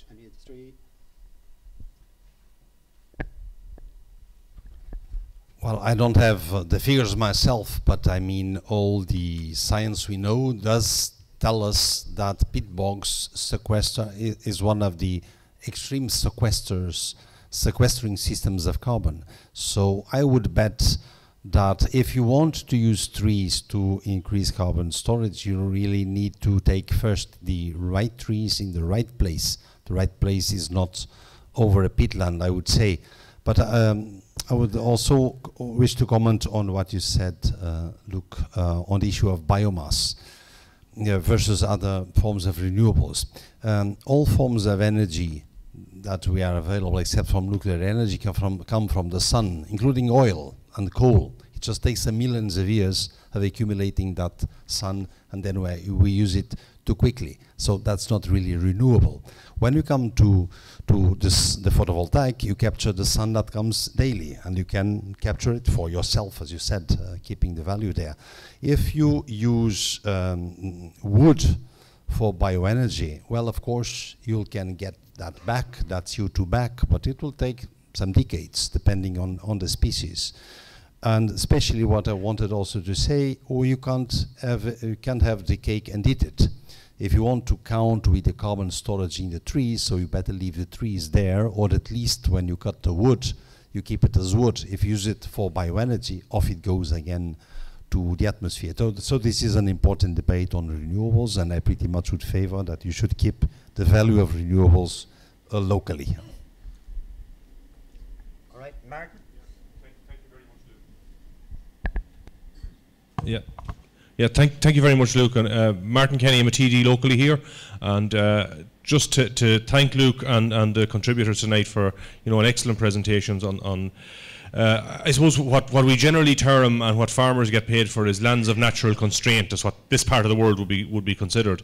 And uh, I know Áine recognised me from I have I have a bill going through the Dáil at the moment, or trying to get through the Dáil. We're doing pre-legislative scrutiny on it, called the Island Heritage Bill. And it's it's interesting the link because it is quite similar. What we done was we have a bill which would, for fishermen living on the, off the offshore islands of Ireland, that they would get a special access to a special piece of quota so that they could traditionally fish in the artisan traditional way that they fished for to make a livelihood. Because unfortunately they can't compete for to get fish quota under the common fishery policy with the big guys that are in the game. And it's, it's very similar when you come here to farmers on the lands of natural constraint, because the farmers here that get their single farm payment or their, their, their uh, entitlements, as we call it now, they're based on the activity they done in 2000, 2001 and 2002. And most of them are low intensity farmers. So their productivity was considered to be low, so therefore their payments were low. And in actual fact, the scheme is designed more for farmers of that nature than for the big intensive farmers. But it was the big intensive farmers that got the larger payments. So, you know, there's an injustice in that that we'd hope that the Common Agricultural Policy as we move forward would, would try and, and resolve. Um, I was very interested as well in, in, in the whole debate around uh, agroforestry and, and, and what, what possible um, benefits it can bring about. Because I was only talking to a guy actually from Leitrim County Council there a couple of weeks ago, and it was about a man looking to get planning permission. And you can't get planning permission in Leitrim if the soil is too dense because you won't get past the T test. And he complained that the, the what we call the, the, the percolation test was carried out too near the ditch because the roots of the trees in that part of the soil open up the soil and allow it to be more absorbent and in other words it improves the soil quality. They wanted it further out in the field where the soil would be worse. So it, it, there's, a, there's a reverse story to that. There's a reverse story to that is that the root network of the trees or the, or the, or the hedgerow helps the soil quality. So that's that's just, just something that reminded me of that when, when you were saying about it. Um, the problem I suppose we have in this part of the world, and, and the, the, the person that asked about Sitka spruce, we've looked at Sitka spruce and it's a model of forestry which is not about carbon sequestration. It's a model of forestry which is about the timber industry. Okay? You grow a large number of trees very close together, very dense, planted very densely. They grow up very fast, when they get up, uh, I suppose, after the first 10 to 15 years, they're very close together. There's very little foliage on them because the foliage is all at the top, I suppose, quarter of the tree. When you walk into that forest, the ground is bare under it, and there's no foliage all the way up the tree until you get to the very top. So there's very little of the, of the needles actually absorbing carbon because there's very few needles there. And needles are said to be up to 25% less efficient at absorbing carbon than broadleaves anyway. So that's, that's two things you have. Then you have no undergrowth. So there's no undergrowth absorbing carbon either. The needles are, when we call them evergreen trees, they're not evergreen. The needles fall and replace automatically as they fall. But the needles are quite toxic to the soil underneath. So that there's, there's another problem there. Then they go in and they thin out the trees after about 15 years. And the thinins are taken away. And 90% of the time, the thinins are used for chipping and are burnt. Or else they're used in, in, in some kind of hardwood or processed timber but a lot of it is actually burnt. So that carbon is released straight back into the atmosphere again. Then about 15 years later, they're given another thinning. And again, there's quite a large proportion of that thinning which is used for wood chipping. And then finally, they're clear felled. So the whole lot is cleared away altogether. And when they're cleared away altogether, of, of the good timber that's left, the timber that goes into, I suppose, roofing for houses and things like that, is probably, of, of that size of timber, is probably maybe 60 to 70 percent. But you have maybe 40% of that timber, which again goes to chipping and is burnt. So a large proportion of the carbon that's sequestrated by the, by the Sitka spruce forestry is actually released back into the atmosphere over the lifetime of the forest. So not only is it very inefficient at absorbing the carbon in the first place, it's put back into it afterwards. So it, it is a very inefficient model and a very poor use of government money. And we pay a large amount of grants to farmers for to plant the land under the under the, the, the concept that that is to sequestrate carbon. But that's why we're doing it. That's why the farmers are being paid. But the actual model of forestry they're doing is very poor at, at, at performing that. So there, there, is, there is a problem here that somehow or other we need to look at. You also have the social impact of it, and we've debated that before, where when, and, and it goes back to the, the point that Áine was making about how farmers, the relationship with the land. When most farmers plant their land, they don't consider themselves farmers anymore. They've broken that. That it is a permanent change of land use. The land is gone. And not only does that farmer not consider it to be uh, a farming anymore, none of their neighbours consider it farming anymore. Society doesn't consider it farming anymore. You know, and, and that's, I suppose, the, the, difference. And it was very interesting to see the, the stuff there with the, the uh, was it, I think, um, uh, walnut trees and, and, and, and other, other crops growing under them. And all that. Now, one of the problems we have here, and the reason why Sitka spruce is pushed so much in this part of the world is it's marginal land. The soil depth is a couple of inches. Sitka spruce grows with a big broad root on the top of the soil. It doesn't go deep, and it can't go deep because we don't have the quality of soil to let deep-rooted trees grow. So if we're looking at trying to find a solution which is going to be about agroforestry, we need to, to come up with particular models of crop that will work or models of trees that will work in the particular type of soil that we've got. And, and, and not only for the trees that will grow, but also for the other crops that will grow under them. Because believe me, you won't grow grain anywhere in Leitrim. and, and every farmer here knows that. You know, and uh, the, the other interesting one was the, the, the issue of, of and it was it was mentioned I think by Liam about the, the, the photovoltaic cells and, and, and using solar power. We, I've seen solar farms that are used like that, and what happens is the farmers usually the land in England I've seen it where they lease the land and they put this photovoltaic far, uh, uh, solar panels on it, probably about 25 to 30 acres. They say it has to be to be viable. They lease the land from the farmer, but they allow the farmer to go back in and graze their sheep under it because they need something to eat the gra grass under it to grow up through the photovoltaic cells. So, you know, th there are options there, but all of these options require uh, thinking outside the box. And the big thing, I think, in all of this is, and, and it was mentioned by Áine as well, is the relationship between the consumer on one end and the producer on the other the consumer, and, and we always say, and I've heard it all over the place in, in every agriculture committee we have in, in, Dublin, we talk about, you know, that we are such great farmers in Ireland and we produce the cleanest and the best of beef. And it's grass fed and it's free roaming and it's traceable. And all those are true and are, are in general. Now, there's a couple of holes in that, that that people don't want to look at, and we have to start looking at. First of all, we have an Origin Green label. Origin Green should say that everything is is coming from Ireland, that it is all Irish product. But an awful lot of the, of the inputs that we put into our beef and our dairy are actually imported grains, and a lot of it is genetically modified. And that's a problem we've got. So, you know, and we need to we need to we need to look at that. And there's there's an opportunity there, I think, for our grain industry as well, for to be able to, to do something about that. Because we really have to accept that if if Ireland is going to change the way we move forward as an agricultural country, we have to be niche marketing.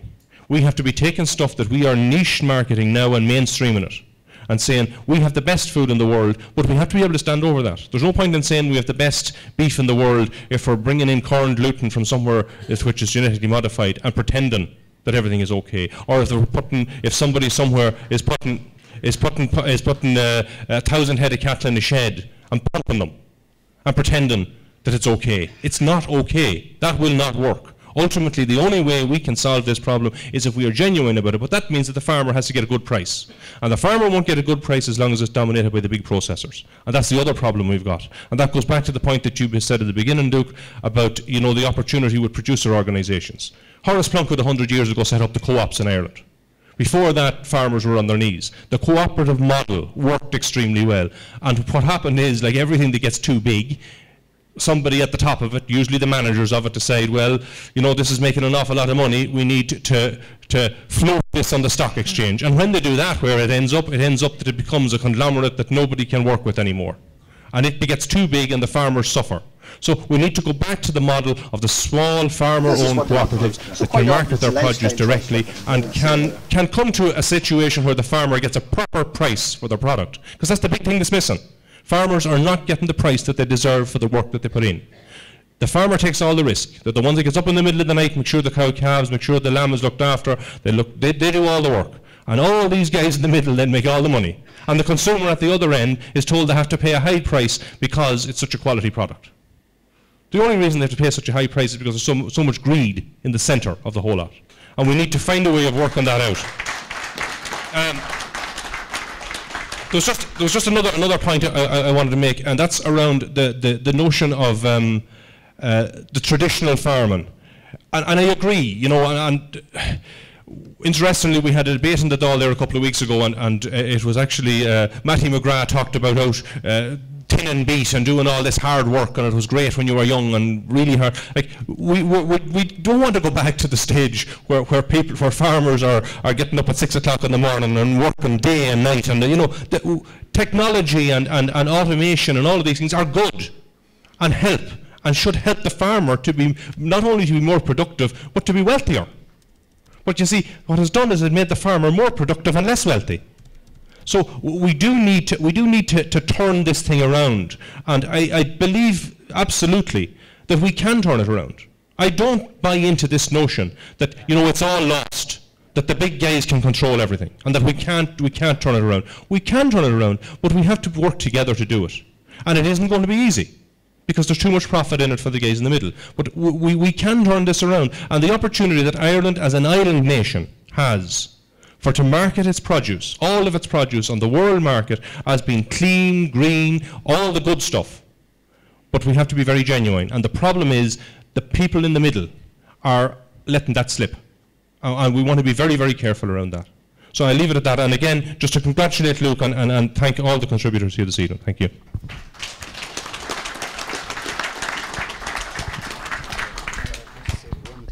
Just one thing uh, about what you said there, and that is, that, uh, and we know this, and Áine, you've, you've, said that farmers won't necessarily just go there because there's money in it, but, or because there's money thrown at it.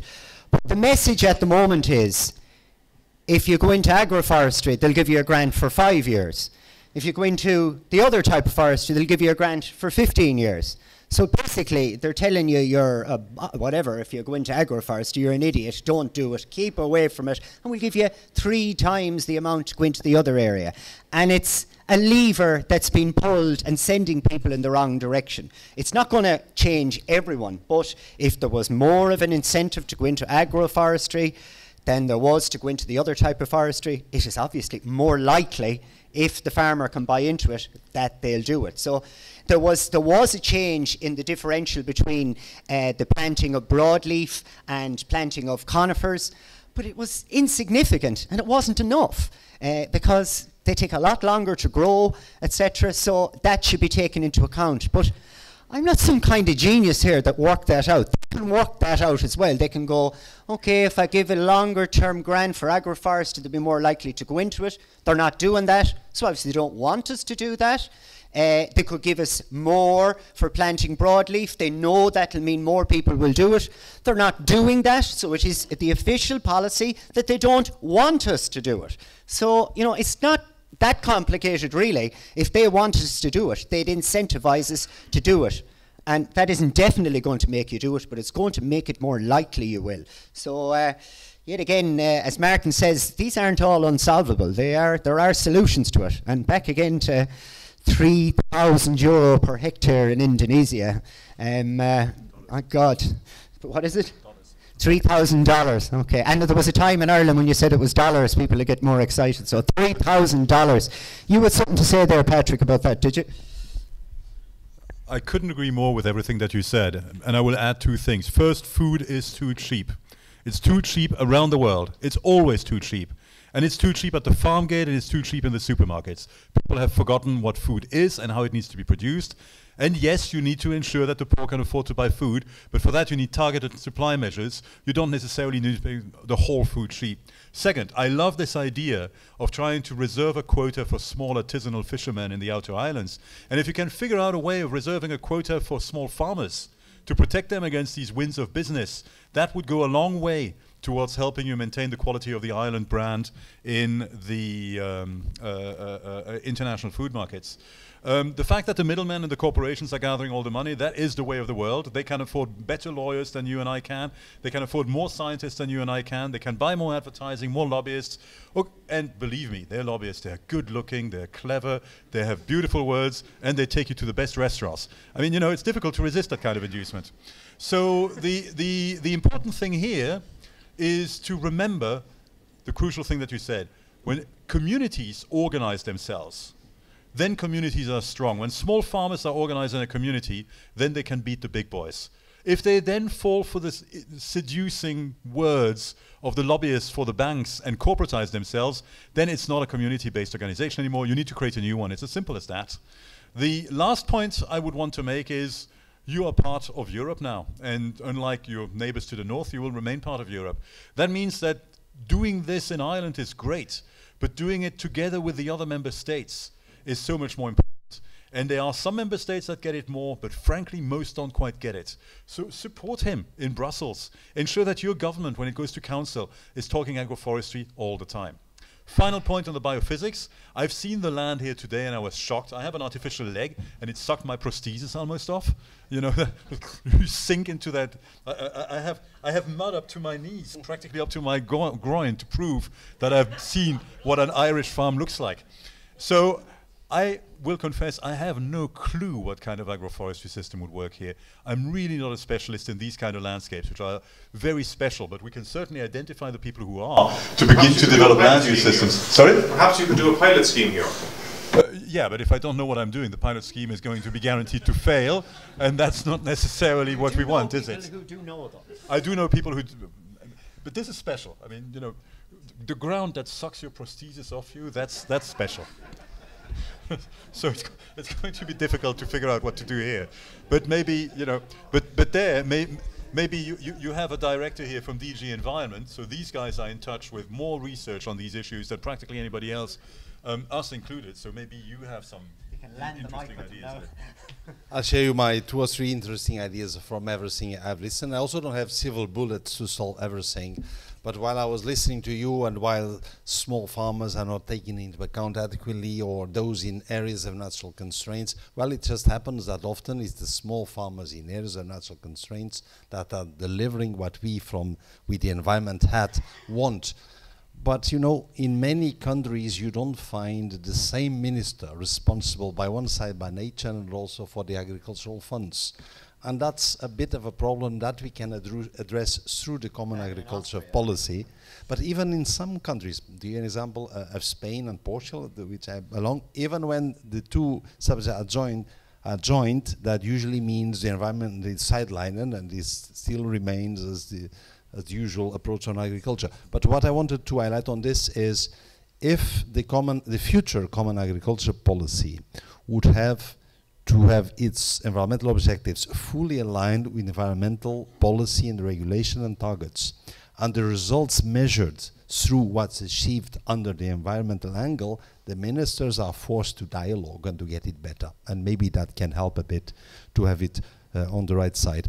On the issue of the discussion on Sitka spruce, etc., uh, well, I can give you one parallel for my country. I'm from Portugal. You've seen we, ha we had 100 people burned in forest fires this in the summer.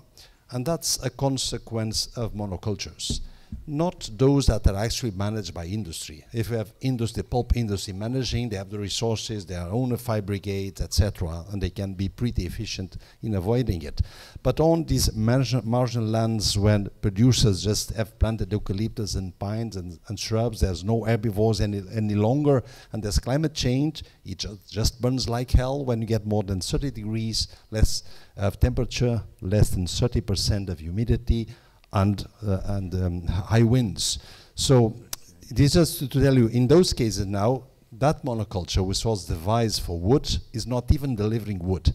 But what we must keep in, in mind is, is of course um, valid to have, have as a goal timber production. We have seen this factory today that relies on Sitka spruce. But of course, you will lose a lot of ecosystem services that you can't get through a monoculture, but you can get through these mixed approaches of agroforestry.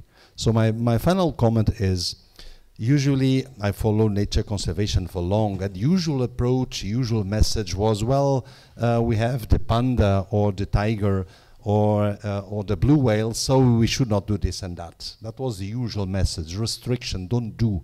There's now a new message, and the message is, well, we humans are facing quite some problems, aren't we? Well, many of the solutions are nature-based solutions that we can bring back, maybe add with a bit of technology and more knowledge you have today, and that delivers. And it happens that this approach sounds nicely to a lot of the consumers that actually would like to have something more natural in their food or in the way they dress or whatever. So this is the avenue that we should exploit more, and I think agroecology and agroforestry will indeed be keywords for that. Thank you. Uh, all right. My name is Bridget Murphy. I'm from the Irish Natura and Hill Farmers Association. Patrick, I'd like to thank you for showing some of your slides that, that, that showed that food is produced in more places than just the first world. As a matter of fact, 70% of the food is produced on relatively small amounts of land globally. But unfortunately, that land is under attack. Um, it's shrinking rapidly, and it's shrinking because of corporate movement into it.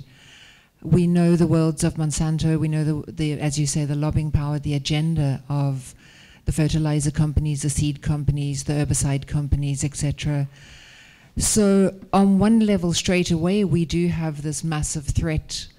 Well, at least what we are saying here presents a massive threat to their agenda, and it's certainly going to to, to be challenged. But um, Martin and, and, and you perhaps did start alluding to the fact that the way to get around this is, is for the ground to start developing a vision itself and for people to, to, to actually start coming together around a different way of feeding the world. And I suppose that was what I was wanting to touch on. It's something that we need to start developing in Ireland communities starting to develop a picture of what they see their future could start looking like, one that would be different, one that's not about big tractors, big machinery, and, and, a, and a corporate move. Thanks. I'd like to react to that. Um, I actually disagree. These, uh, these big companies, yes, they're profit maximizing monsters. But within these profit maximizing companies, there are thousands of really good people who understand exactly what's wrong, for example, with African agriculture. Uh, for example, we've worked together with Syngenta in Zambia because uh, Syngenta is interested in distributing more seeds, but Zambian farmers are so poor they can't afford to buy their product. So Syngenta is distributing seeds of this Faidherbia albida tree and using its private extension service to teach farmers how to grow the seedlings, how to plant them out, how to prune them, in order to improve the fertility of their land so that the initial boost in fertility is achieved. Because they know full well that once the farmers have a little bit of money in their pocket, they will first pay the school fees and the school uniforms for the kids, and then they will invest in their farm. And that will mean better seeds and better fertilizers and God knows what else. So you can work with these people. What you often find is that people who are not involved in Africa, but who are the donors, or who are the decision makers in the rich world and who don't know how African farmers operate are putting too much faith in that technology. It's not bad technology. Improved, you know, an improved breed of maize is not a bad thing. It's a good thing. Um, but they don't understand that it's actually an irrelevant thing in a context in which soil fertility is so very low. Great seeds and great fertilizer are fantastic things, but they're not going to create your topsoil for you. They're not going to create the infrastructure in order to come into the landscape for you. So you've got to work in a completely different mindset. And so the problem that we have here is that too much money and too much political power accrues to these people who, I repeat, are not necessarily bad people, but who do have a giant blind spot because they too have not managed to figure out how to make money from agroecology, just like us, right? So everybody is actually sharing that problem. And if together, and it pro probably come from consumer, uh, um, sorry, community-based organizations, if together we can develop the political power to ensure that the collectivity funds the extension services necessary for agroforestry and other forms of agroecological approaches, then we are going to get somewhere. As long as we sit here in the evening and uh, think we're great and the others are bad, or think that we can do it on our own, we will fail. It's not going to work. And there's a second reason why it's important to do it this way, is if you waste a very limited amount of political capital that we have in fighting the big boys, then you are fighting a battle that's not actually relevant in the context of getting smallholder farmers to perform better here and now. So I'd much rather stroke them, stroke the Monsantos of this world in the right way and says, yes, yes, you're good guys. Now go and play in your sandpit and let the adults get on with agroecology. Happens where the Monsanto and that are playing the free trade agreements now and making very, very active inroads into consolidating the, that situation. Oh, I, I, quite agree. It's a disaster, but I've got to choose my battle. My battle is the biophysics and the social mechanisms of agroforestry at the production level. Um, I think it would be more the, the battle of the, the, the our, our, political representatives to understand how these extremely complex agreements can be tweaked or modified to protect the interests of small farmers or small fishermen. I just I, I can't contribute to that conversation. I've you know I've tried to read a trade agreement once and I wanted to commit suicide. I think the answer perhaps though is exactly the same as what you said. Go in there the ground and organize your way up hmm. with with different solutions. Yeah. We take one more question and then we'll sum it up because I'd imagine you want to go home. as well. There's two people here, Luke. There's two, We'll well, take the two together. right. We? Uh, thank you, John Brennan, Leitrim Organic Farmers Co-op. And I don't really want to spend time asking questions, Patrick. I was really interested in your uh, presentation. We've spent years at Groupe de Bruges level talking about agroecology, trying to fashion a more sustainable cap. Uh, I'd like to thank Ming for penching an idea that we've been discussing for years. And uh, we've also made a submission ourselves um, as part of the CAP reform on introducing agroforestry. Our approach has been that farms should be multifunctional in their approach. Tomorrow you will see situations that there are farms in this county that are organic since the 90s and now they've, they've taken on many new approaches and a lot of hardwood that's been planted maybe in the county was done even with no assistance um, and that through any schemes. So farmers are very willing to look at new approaches and um, it's great to have somebody from DG Envy here tonight as well because it's the environmental NGOs that are very much fashioning the new cap. They're sick of the rubbish that we talk about greening, which is just about big farmers holding on to money and doing nothing. And it's time that the smaller farmers and farmers west of the Shannon got paid for ecosystem services. Now, the co-op um, have discussed this, and our co-op, as a community organisation, is willing to work very closely with people like Patrick, if he's available, to see how we could take this forward as a new paradigm for the integration of, of farming and forestry. As he said, and as I think our friend from Italy has also said, both of these have been kept apart because it suits the people, the big, the financiers. And I happened to be at a, a meeting in Dublin this week where I listened to somebody representing a forestry fund talking about the killing that they could make here in Ireland, one short rotation Sitka spruce. I'm also glad that's the first time I've heard anybody saying uh, exactly how much Sitka spruce absorbs in terms of CO2 uh, tons per hectare, because we've had this discussion many times. So the, the question I would have is, number one, if we're willing to work with, with uh, people, how or what role we might play, and secondly, in the, in the uh, in driving agroforestry forward, how we will avoid the mistakes of eliminating um, our biodiversity, because we can make mistakes we have very sensitive environments here. The curlew is on the edge of extinction. So I'd like just maybe the panel, maybe Patrick or whatever, to address that, how we, we do this without actually damaging the environment. Thank you.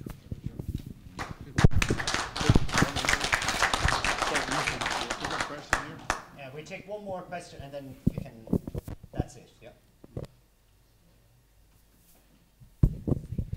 Um, th thanks for the panel for coming over and um, seeing Leitrim and Roscommon today.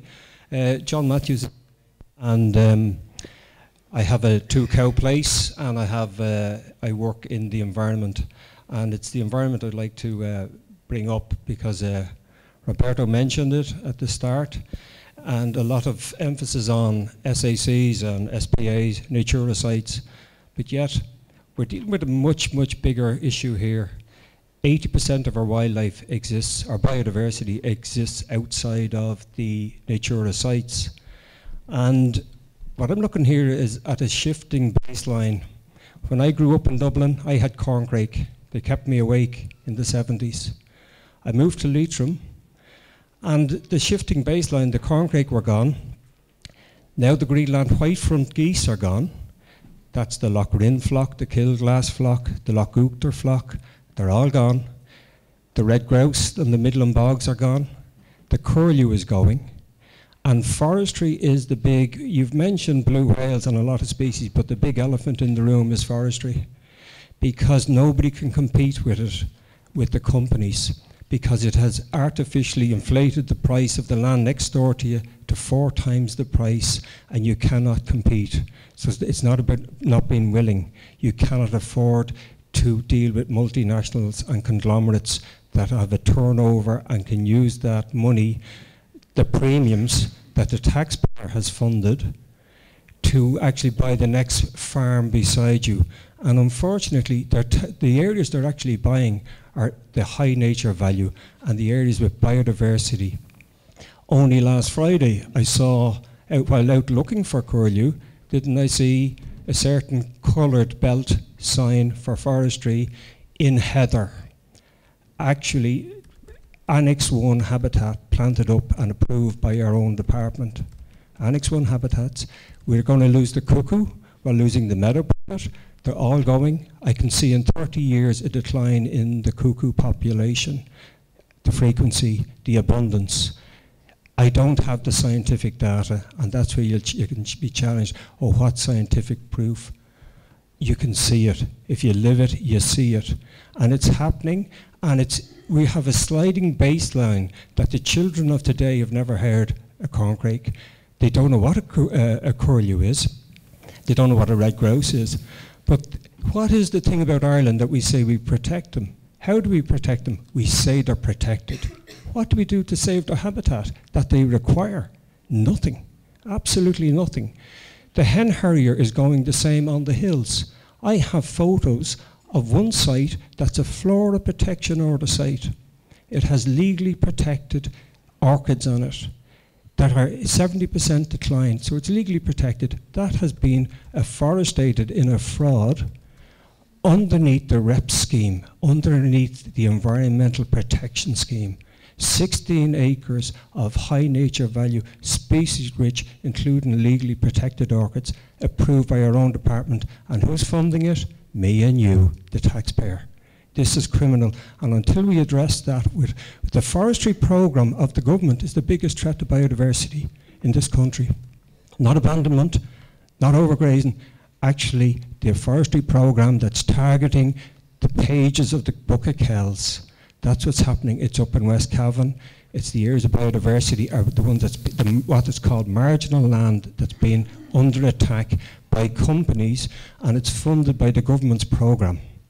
And that's to offset our carbon footprint. We'll carry on polluting, and the dairy farmer as well say, I'll offset it, I'll buy land up there to offset my carbon footprint, and I'll wreck West Cavan and Leitrim and the uplands.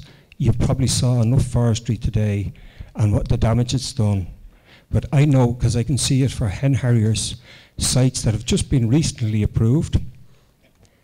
It's not in an SPA. They didn't consult. They didn't consult when they're planting right up to the bog for the curlew, and we're losing them too. So that's at least four or five species gone in the time I'm here. Thank you for that. Cheers.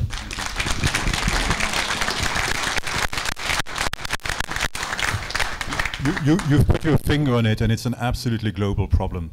You might have heard of that study that came out last year from Germany, where a bunch of uh, entomologists had simply measured the quantity of insects in protected areas and saw a massive drop. You might have seen last month a report coming out of France that there was a drop in bird populations in the landscape of 80% because of a lack of insects. We know in China they're already pollinating orchards by hand. In Zambia, I have friends who are complaining that there's no more pollinators in their landscape. In Zambia!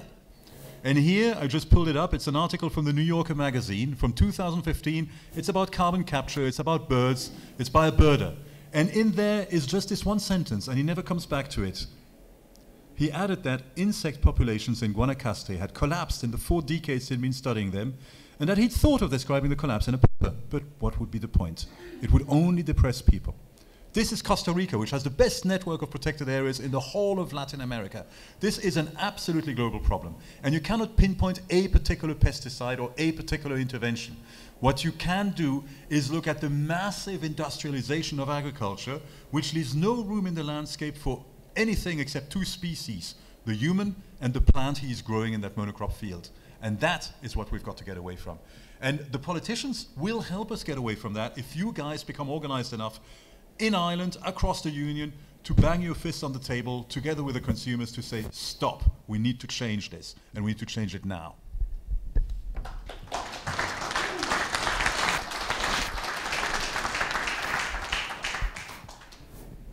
Uh, first on what Patrick just said, that's what I've tried to capture in the beginning. Yes, we are being the, the ones doing these six big uh, extinction crisis because of the way we expand, we develop, but we are also apparently intelligent beings and we can get awareness of this and change and change the situation if more and more people want to change it.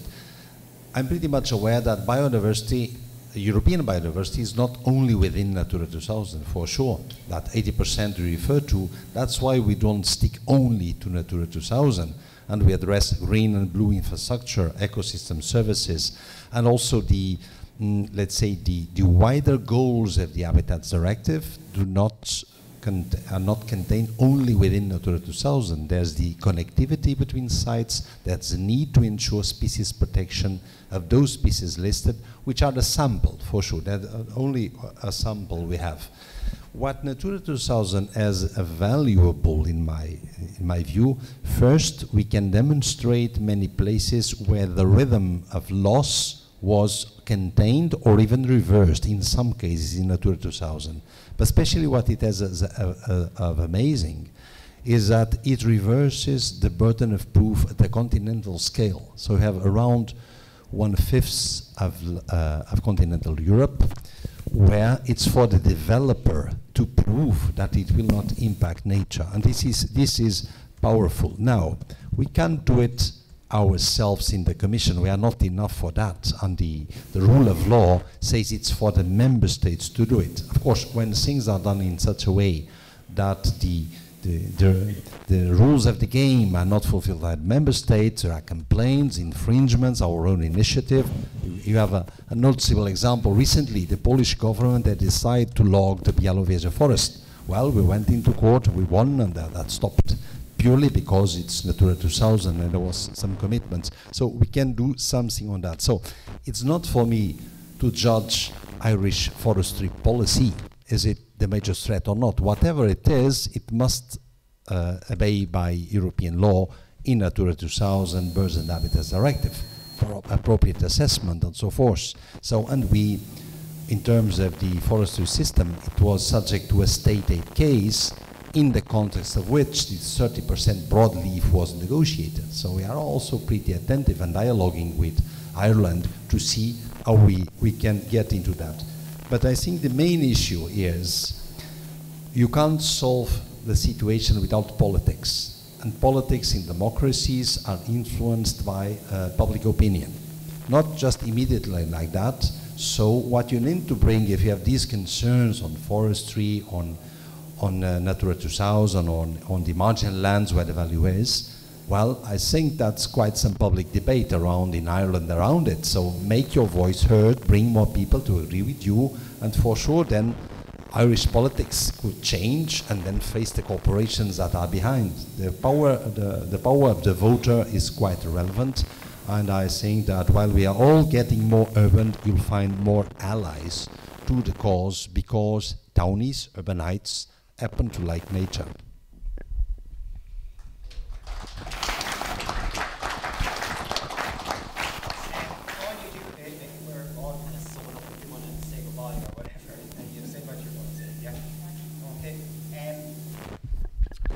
All right, um, we'll leave it there, uh, as they say. Um, I just want to say before we finish, uh, thanks so much to uh, the group of farms that uh, took time today to meet us and to show us around.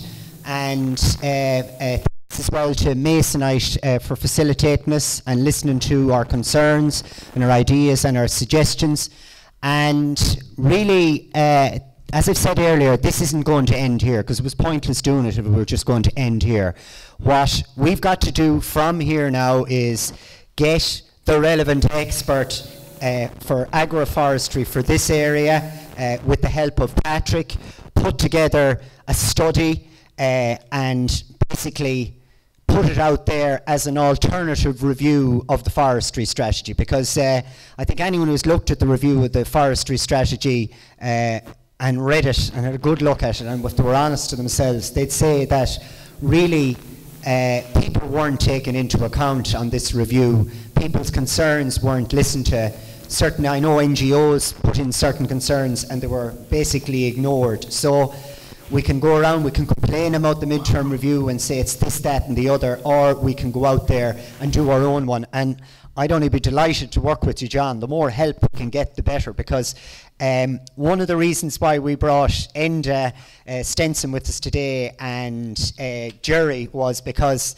well, we're blow-ins. I'm a blow-in. I know I just come from down the road, but I'm a blow-in to this area, and we don't. And you're working well for a blow-in, but we you just don't know as much as it, and you couldn't know as much as it uh, about it as the people of the area. No more than I know every part of Cloonchambers bog inside out. It doesn't mean you have less of an understanding of the land because you don't know it. It's because you're from there.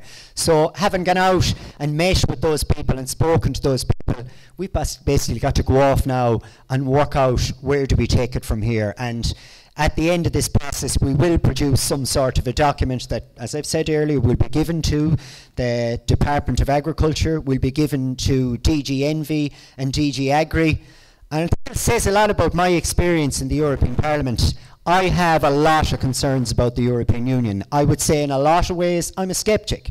I'm turning into a Europhile in certain aspects. And one of them that turns me in that direction is the fact that when I pick up the phone or I send an email to DG Envy or DG Agri, I wouldn't say it about a lot of the other DGs, but they come to me straight away and they talk to me. And even sometimes they come up and meet with me in my office. Unbelievable. Whereas if I went and I was to try and talk to the department, bar sitting outside their house for a couple of weeks in a row, I probably wouldn't get to meet them. So um, it isn't all doom and gloom. I, I went out there thinking, okay, I'm radical, I think in this way, and I think it would be a good idea to go down a certain road. And now I find myself when I'm out there, I am actually radical in that sense at all because actually the prevailing winds are, and I never thought I'd hear Phil Hogan say this, and I never thought I'd hear a member from the same group as Fine Gael say this. Say this, listen to this. We cannot pay people on what they were doing 27 years ago. Now they're saying that. That's fantastic. I have heard Phil Hogan, whether he believes it or not, but he's saying it, and that's what he's saying at the moment. He is saying that people on marginal land should be given support to survive just as much or more as people on what would have been traditionally classed as really good land. So, in a way, my job at this stage potentially isn't to change what the Commission want to do. It is in certain senses, but it's to make sure that it's not warped and bastardized and twisted when it gets back here. Because one of the things that was said by Marian Harkin when she was in here last, and she doesn't praise herself enough, she said, well, in the end, we failed on the last ca cap. Actually, in the European Parliament, they didn't fail it was possible for this government to have given an awful lot more money to Leitrim. So, in fact, in this case, I think Europe is actually doing the right thing. And that's what I actually believe. Hopefully, hopefully, it won't be twisted and it won't be mangled when it's brought through our Dáil. Now, initially, when I heard it's going to be decided more locally. I was worried that it would be just within the department, and an awful, awful lot of this will happen within the department. But now I understand that there's going to be a debate, a discussion about it in the Dáil, where the detail is hammered out, and you'll have people like, and you're you're well worth your place in Dáil and Martin Kenny. Will it people like him there? Will it people like Michael Fitzmaurice comes from slightly different end of the political spectrum, but he feels the same way as you do about farming. You have people like Eamon Ó Cuív, who is in Fianna Fáil. I would say maybe they don't listen to him enough. But this will all be debated openly at the Agri Committee, etc. And basically, I think it might go well from the European perspective. My only worry is, will it be twisted here? But hopefully people like Martin Kenny, people like Michael Fitzmaurice will actually be able to make sure that that doesn't happen. Because if the money does go more so, more so towards uh, environmentally sensitive areas and people are farming in more difficult areas, it's fairly obvious to see who'll benefit. We'll benefit in these areas. So now is the time to fight for it. I'll finish on this. There was a big hoo ha and a massive amount of talk, and I was even dragged into going to one of the events in Sligo about Ireland 2040 and where we're going to be, and the tens of billions of euros that we're going to be spent. And sure, it'd be great if they were. But they are maybe money. Maybe if growth goes, it grows at a certain level, maybe they might spend it. Maybe they might spend it here. I don't actually think they will. Maybe they might. They're all maybes, ifs, and we all got very excited about it.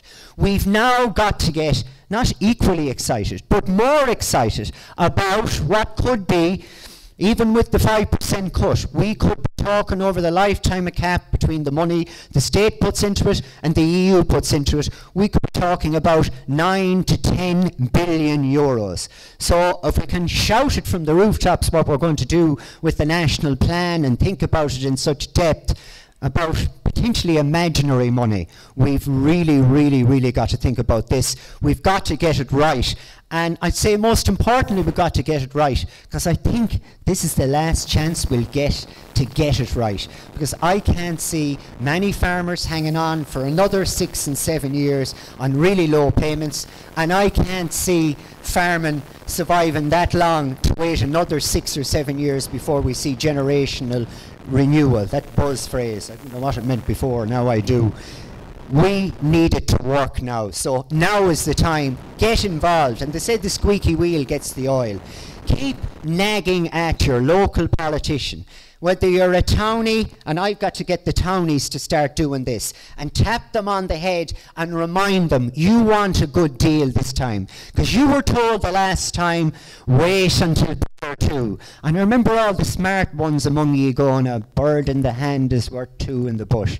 But by God, you ended up with no bird. You ended up with bloody nothing. You know that now. You know what went wrong the last time. We've got to make sure it doesn't go wrong again. We'll leave you there. Thanks very much for coming and Chuck Laura.